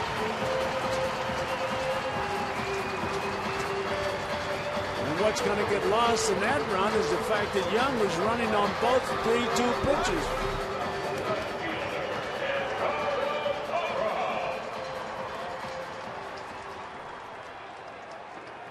He stayed right on it. Look at the follow through.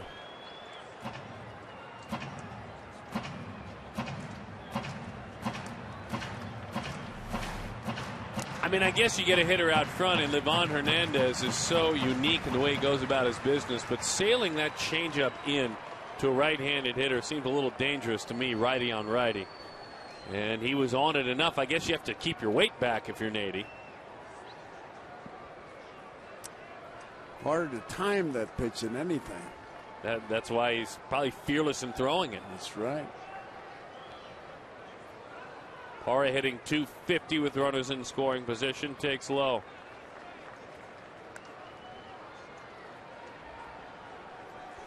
Arizona leads it now two to nothing.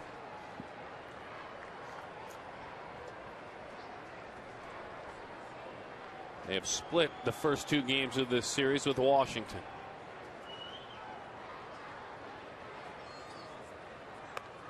He just won't bite. 2 0 the count. Couple of times Parra has gotten to this point. Burnett's the left-hander and Kimball is the right-hander, Cole Kimball. Parra has gotten to this point. Hitters count only to have Livan stay stubborn and get him.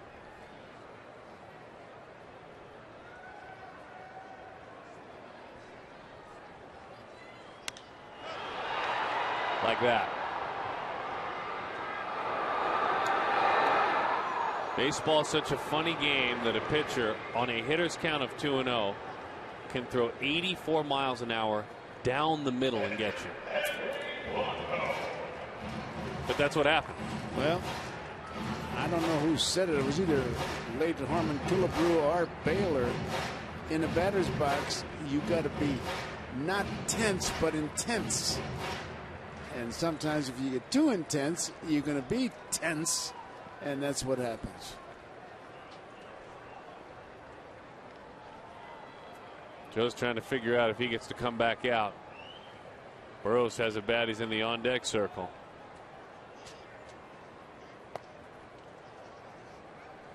You got somebody warming up in that bullpen, so I don't think it's a decoy, depending on what Blanco does. It is David Hernandez. Well, Joe Saunders had the look of a guy who doesn't want to be done pitching. If I saw that shot right, anyway. Swing and a miss. One and one the count.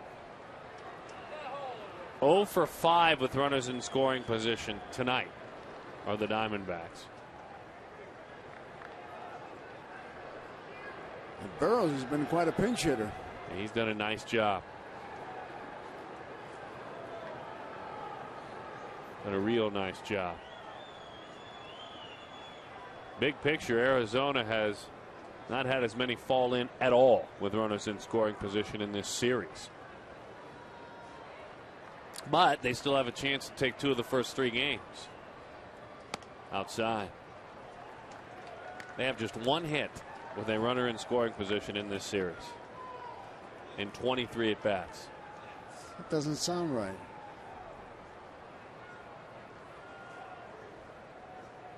And that one hit, a 3 0 three run triple by Stephen Drew. It's interesting. Stop to think about that. Two and one the count. Willie Bloomquist is ready to be a part of things. That's a strike.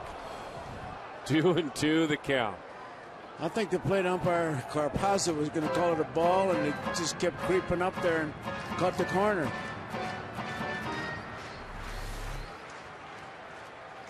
I mean, that's not Uncle Swifty he's throwing. But he's around that plate. He's going to get strikes called like that.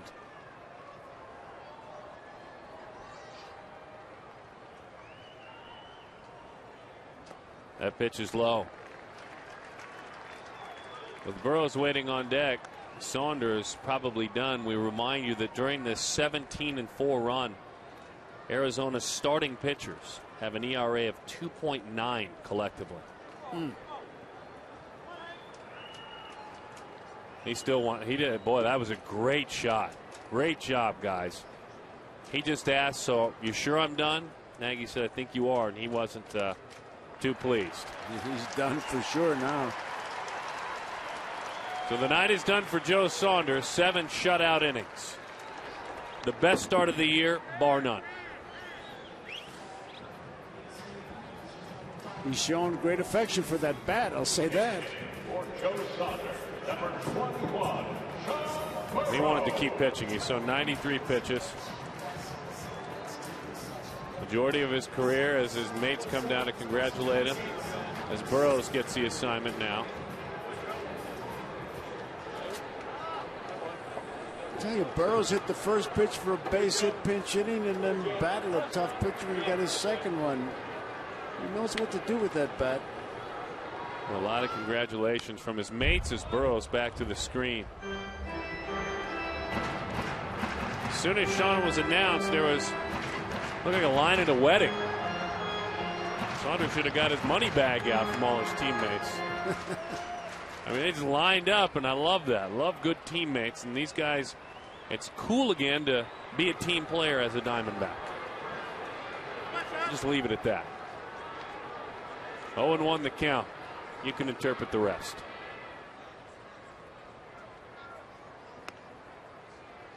One and one the count as that one misses away. Well, Burroughs has become, and Joe mentioned it, almost exclusively a pinch hitter. He's four of his last nine times out there, though. Took him a while to get his feet under him, but there's nothing wrong with four of his last nine as a pinch hitter. And hit hard. Every every base hit was a, a hard hit ball.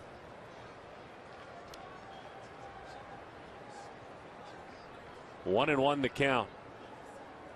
Another huge add on you just saw there a moment ago.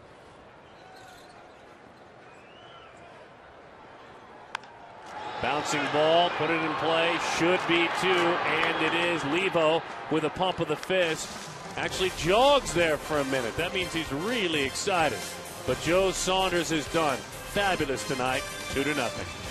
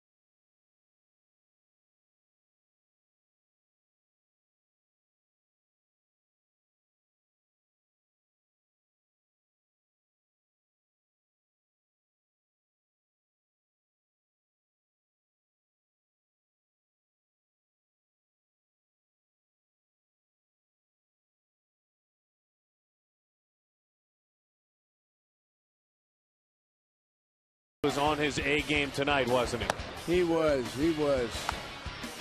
He can be proud of what he did. Not only pitching, his fielding was just exceptional. And that was the uh, wedding receiving line, as I like to call it. And I mean that in a good way. They were lined up to congratulate him.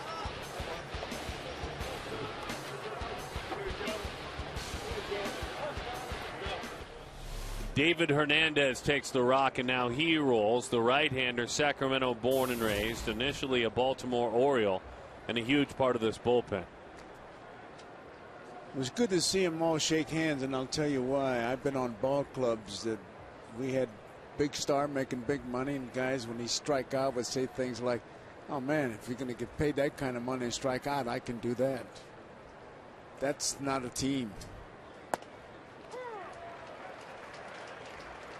I'll venture a guess a fly on the wall in the past few seasons gone by might have heard the very same thing here in this ballpark. Oh, go to the bank with that one. I'm on your side. 0 and 1 the count. Veteran Alex Cora, a nice piece for these Washington Nationals, has been throughout his career.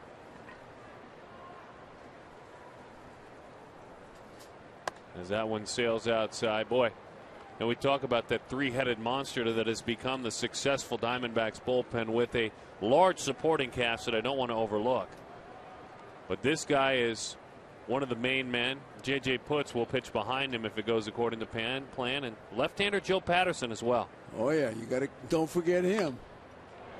Out front, fastball. Kelly Johnson puts it away. Cora is erased. You and I talked about this on the ride in that this, especially on a national level, these three players on our television screen have helped to turn this team around. Yes, they have. I mean, it's just, take any one of them, any one of the three, and you can make a story out of it.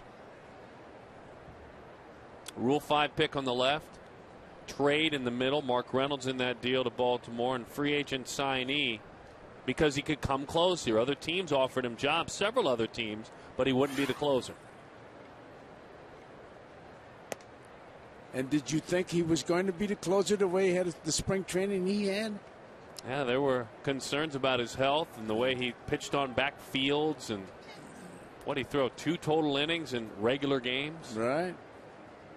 Boy, you'd never know it the way he's going. One and one the count. Now, Hernandez was a pitcher that up until early last year was a starter throughout his career. Was just an average starter. He's become a very good reliever since they made the change. Breaking ball on the corner. You know, if they need a starter, they're going to remember that, but it's going to cost you because he's doing so well in the bullpen so far. So you're betwixt and between. I think he moves down that line because of what you're talking about. I think he's about choice number 10. You need him in that eighth inning. Jerry Hairston awaits the 1 2, shoots a fastball down the line, and it's foul. Well, what Hernandez has done, which has been fun to watch, is gain confidence in this area. Yes, he was a reliever in Baltimore, but not in these situations. He was just part of the pen. This is different. I mean, for me, an eighth inning man, an everyday eighth inning man, there's not much difference in this and the closer. Breaking ball, he thought about going. And he did not. It seems, Daron, like you, you almost need four pitchers. You know, you need a starter, you need a long middle guy, you need a holder, you need a closer, and, and make the move. And if you fill those spots, and there's the pitching coach, it, it, that's his little kindergarten right there. He's got to baby him.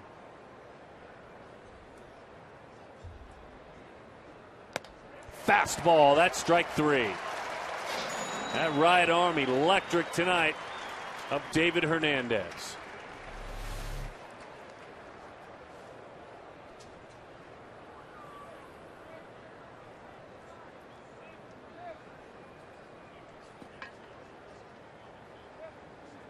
You know, you talk about Kevin Towers and his ability to have foresight and see a player that fits in somewhere. Kevin Towers went and traded a slugging third baseman. A couple of pieces came back. Mickolio, who's in the minor leagues, a reliever, and then David Hernandez. He saw enough in a guy who, in two seasons in Baltimore, had an ERA of nearly five. That was it, nearly five to put him in this bullpen. A little bit of foresight as Nix takes a curveball for a strike. Because he saw the guy. He didn't let statistics get him, you know. It's it's it's the line I read.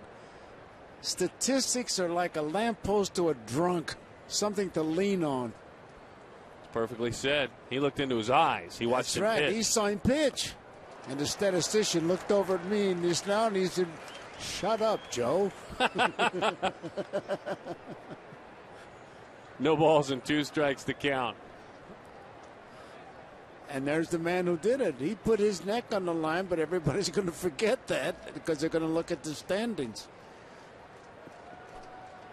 Kevin's been, and it ties in interestingly, but first this 0 2 pitch. Base hit right field, an 0 2 that he was ready for. He watched enough Nix from the bench, the pinch hitter, Laynce Nix, to learn that he had a good breaking ball. And he picked on it. Right fielder, Jayson Werth. Quickly to finish the thought on Towers.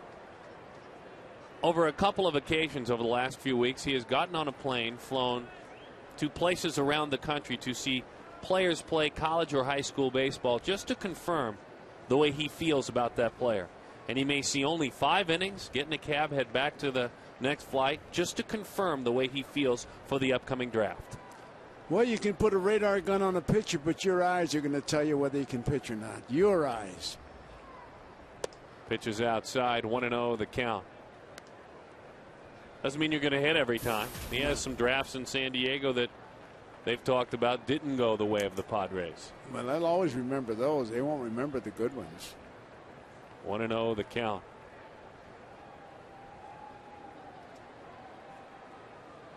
That one is outside. But isn't it interesting as he ba- battles through this one? That there's a guy by the name of David Hernandez here with an ERA of 1 7. There's a pitcher in San Diego who Kevin Towers went and grabbed in the very same manner by the name of Mike Adams, who over the last three years has an ERA of 1 7. And on a big scale, most baseball players, people had never heard of either one of them on a big scale. But the only scale that counts is the one t- Kevin Towers has. 2 0 the count. Well, he's got to figure this out. Pitching carefully to Werth. Tremendous power. He's got the same thing on deck, though. Big Mike Morse waits.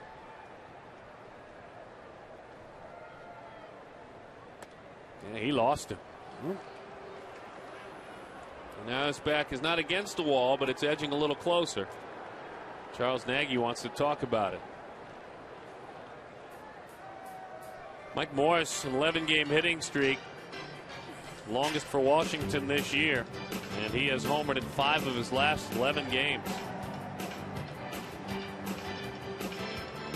You know, you often wonder what are they talking about. They're not talking strategy. Nagy's trying to just break the mood a little bit and just hey, just remember how you got him out and what you've been doing before tonight and so forth and so on, and go out and do it.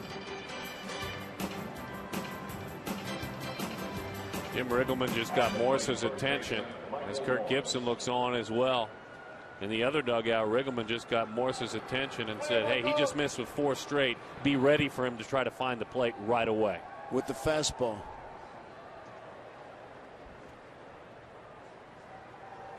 And instead, it's a breaking ball. Breaking ball. Got behind. 1 0 the count.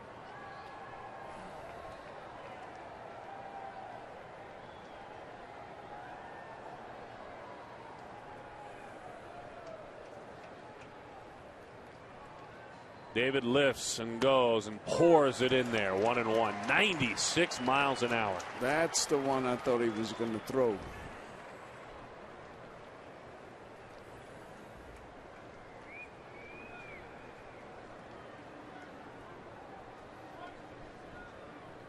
A single and a walk with two outs. Breaking ball is high, overthrew it. Now, if you're the hitter, he threw two curveballs that he couldn't throw for strikes, not even close, but he threw the fastball for a strike. What would you be looking for? Something to think of when you come to a game or when you're watching at home. Let's watch together. Perfect fastball. Fastball. You could see he gripped it. It was uh, forcing. How to get that modern term. I, I, I'm proud of you, Joe. How about this crowd? They're into it. Go ahead run in the batter's box. The 2 2. Fastball, got him!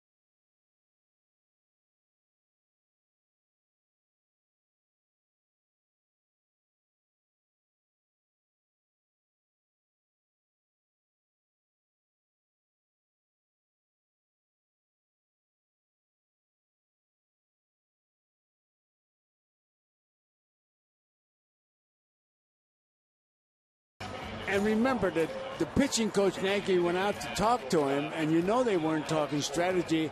And I'd be willing to bet, I'd bet the house on it that he said something like, "Hey, you're in a jam. Throw the pitch that got you here. What got you here was your fastball, not a curveball, not a changeup. Rear back and fire it." And boy, he did. The right-hander Kimball takes the baseball. Cole Kimball, 10th time this year. The numbers have been good, though first batters, as you can see, that's really been his only trouble. He's had to clean things up. They've reached at a 44% clip. Otherwise, nobody's gotten any hits. Ryan Roberts.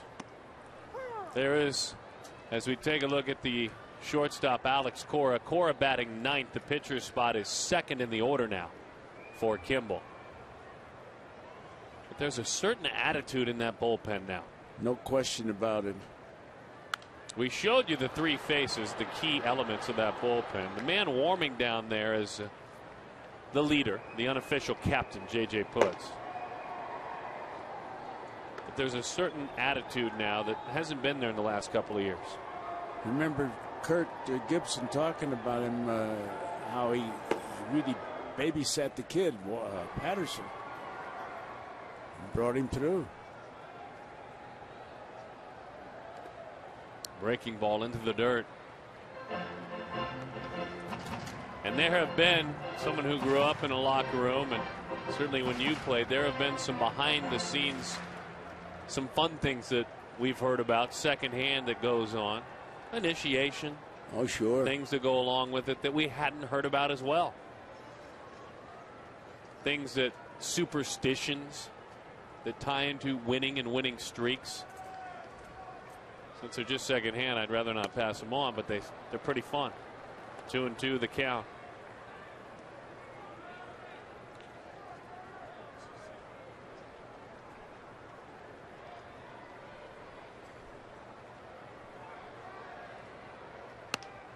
Wow, there's another big fastball. We love our word of the game because you may get to go to FanFest. The FanFest word of the game is savvy. Do you have the savvy to log on to FoxSportsArizona.com now for your chance to win two tickets to the FanFest at the Phoenix Convention Center next month? Now, we're giving away three pairs of tickets every night during every telecast, so hop on there. There are plenty to be grabbed, as you can see. Savvy is the word.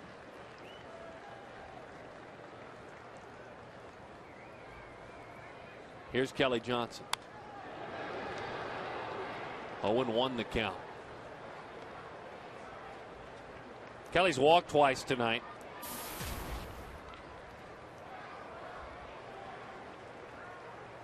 Looking for his first hit of the series.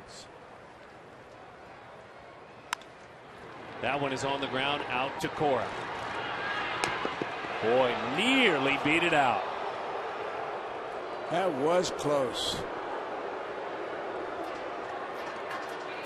That's a perfect example right there of a guy not running to the bag, but running through the bag. Watch this. He just goes. Just. Oh, that was close. I don't know.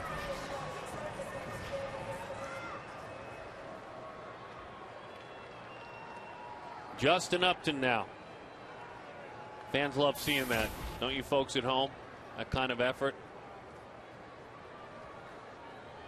Been nice to see how Kelly's turned things around this season. Fastball 0 1, Justin Upton. Singled back in the fourth inning, otherwise, he's fly to right and struck out.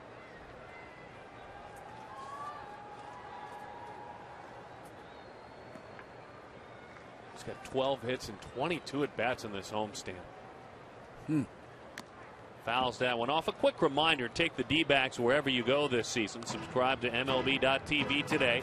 You can see every D backs game on demand on your computer. Visit dbacks.com. MLB.tv, baseball everywhere.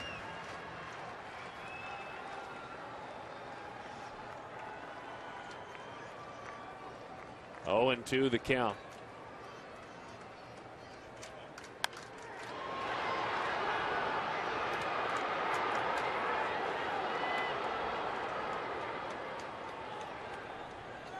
Look forward to seeing you tomorrow if you make it down to the ballpark.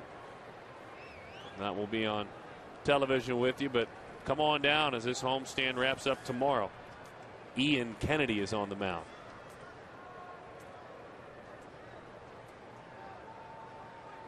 Fastball is high. Ian Kennedy against Jason Marquis, who has beaten Tim Lincecum this year, had some solid starts. He's got six wins, does Marquis, so does Kennedy.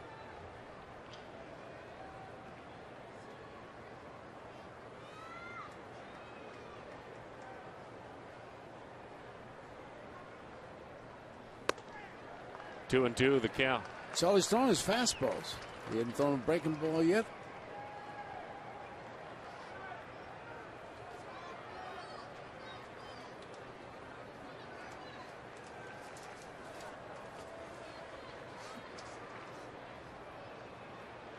Two to nothing the score. Three big outs to get for the Diamondbacks as Upton hits a high fly ball into right center. Werth creeps on in and he puts it away. Veteran right-hander J.J. Putz will receive the assignment in just a moment to lock this ball game down.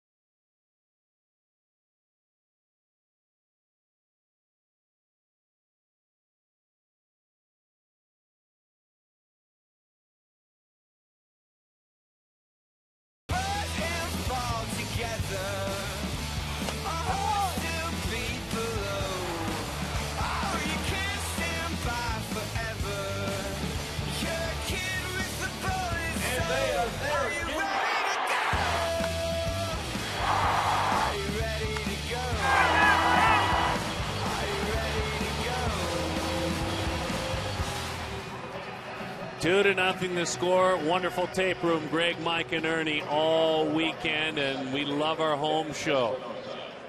And we are glad to bring our home show into the ninth inning with all of you.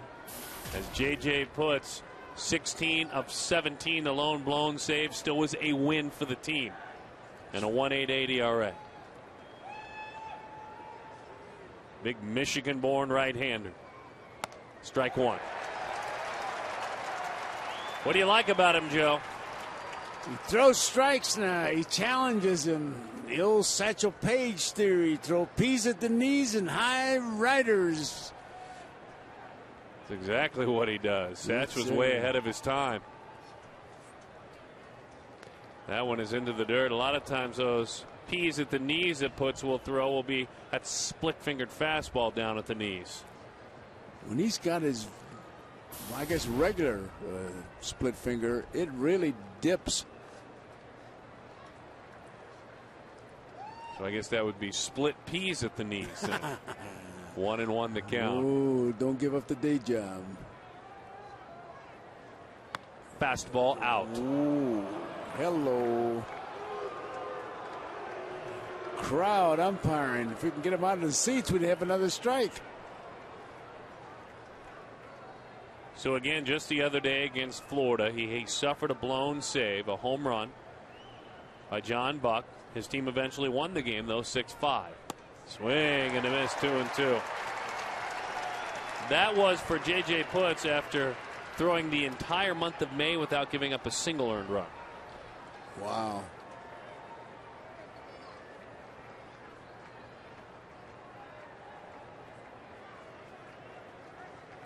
Staying with the Swifty. The big fella on 2 2. It's fouled off by the slugger, Danny Espinosa.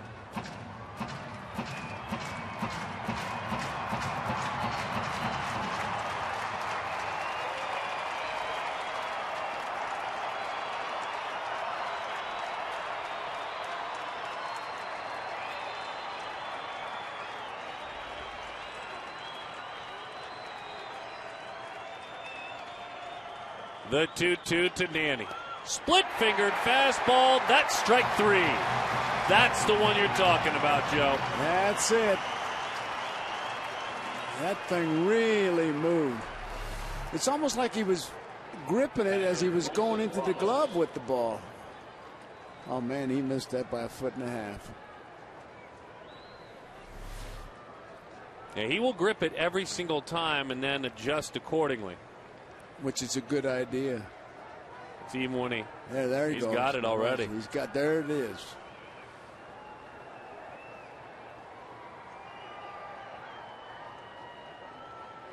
That's a slider for a strike, right at the belt. Doesn't throw that pitch as much, kind of a show me pitch. Show me, yeah. It's a commercial pitch. I'll be right back after I throw you this one.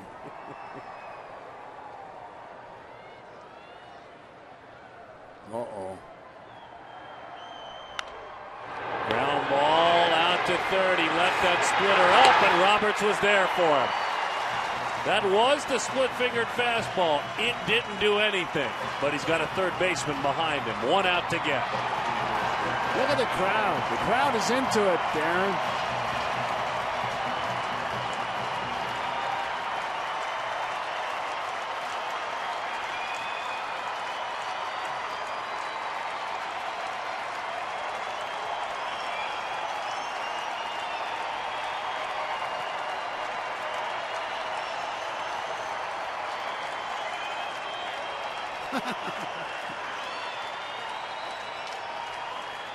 Rick Ankiel.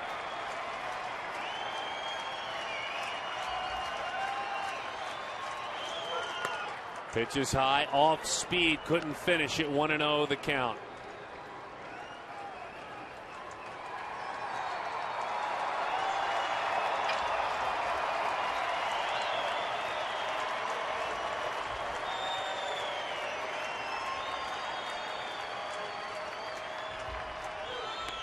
Pitch is low, a fastball. 2 0 to Rick.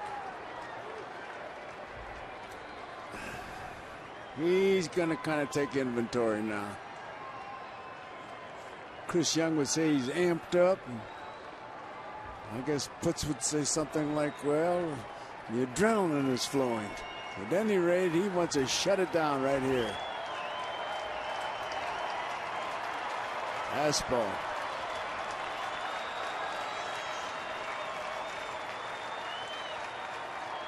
It's low. 3 0 the count. Bernadina has a bat. He's waiting in the on deck circle.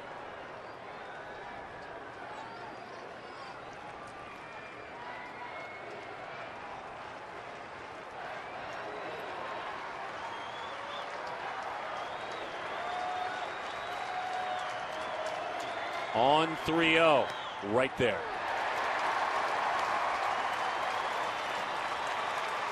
Crowd will tell you what's happening.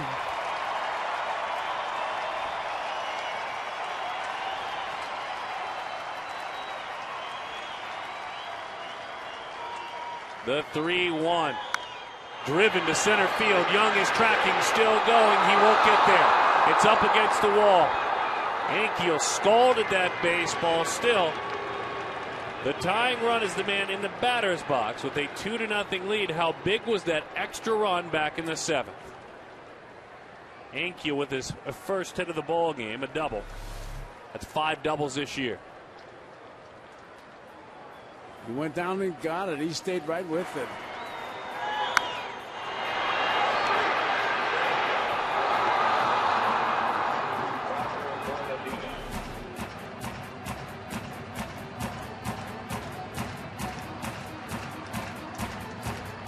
Washington is hitless in five tries with runners in scoring position. Here's Bernadina hitting 242. One long ball, eight RBIs, one hit in this series. It was a triple.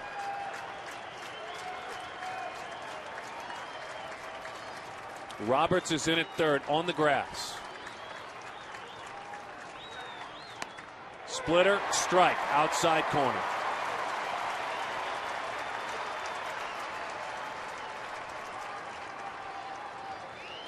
Roberts, just because he can bunt, has to stay in.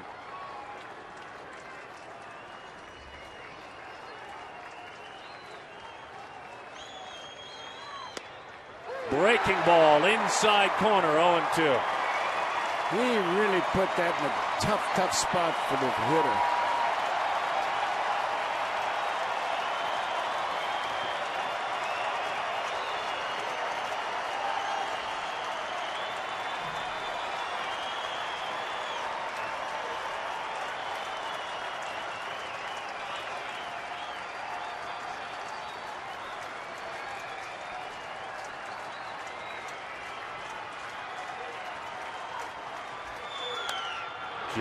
Just hanging around. Trying to lock down their fifth team shutout of the season, these Diamondbacks. They threw three all of last year. And boy, that'll make the night special.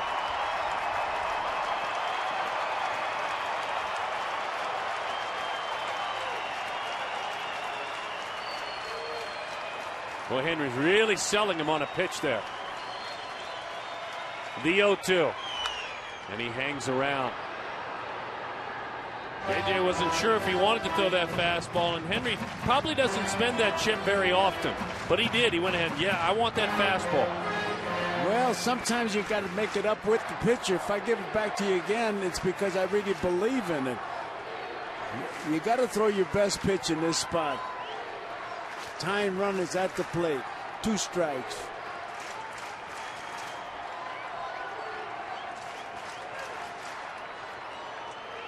Shook him off again.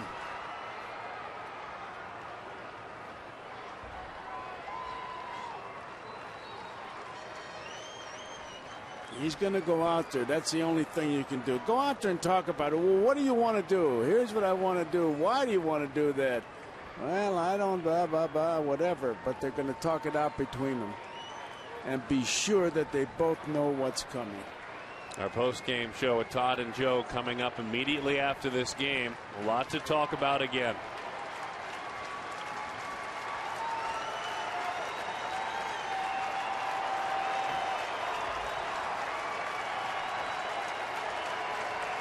The 0-2 pitch.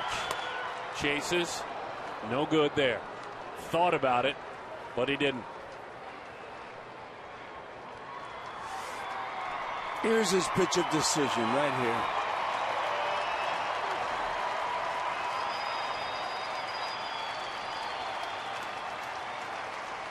One and two the count. JJ deals. Popped up. Stephen back.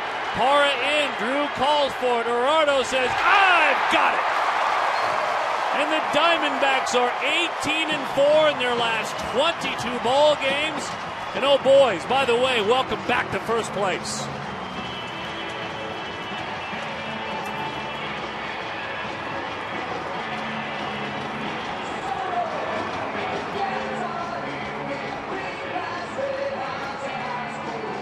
You can't hide from it now.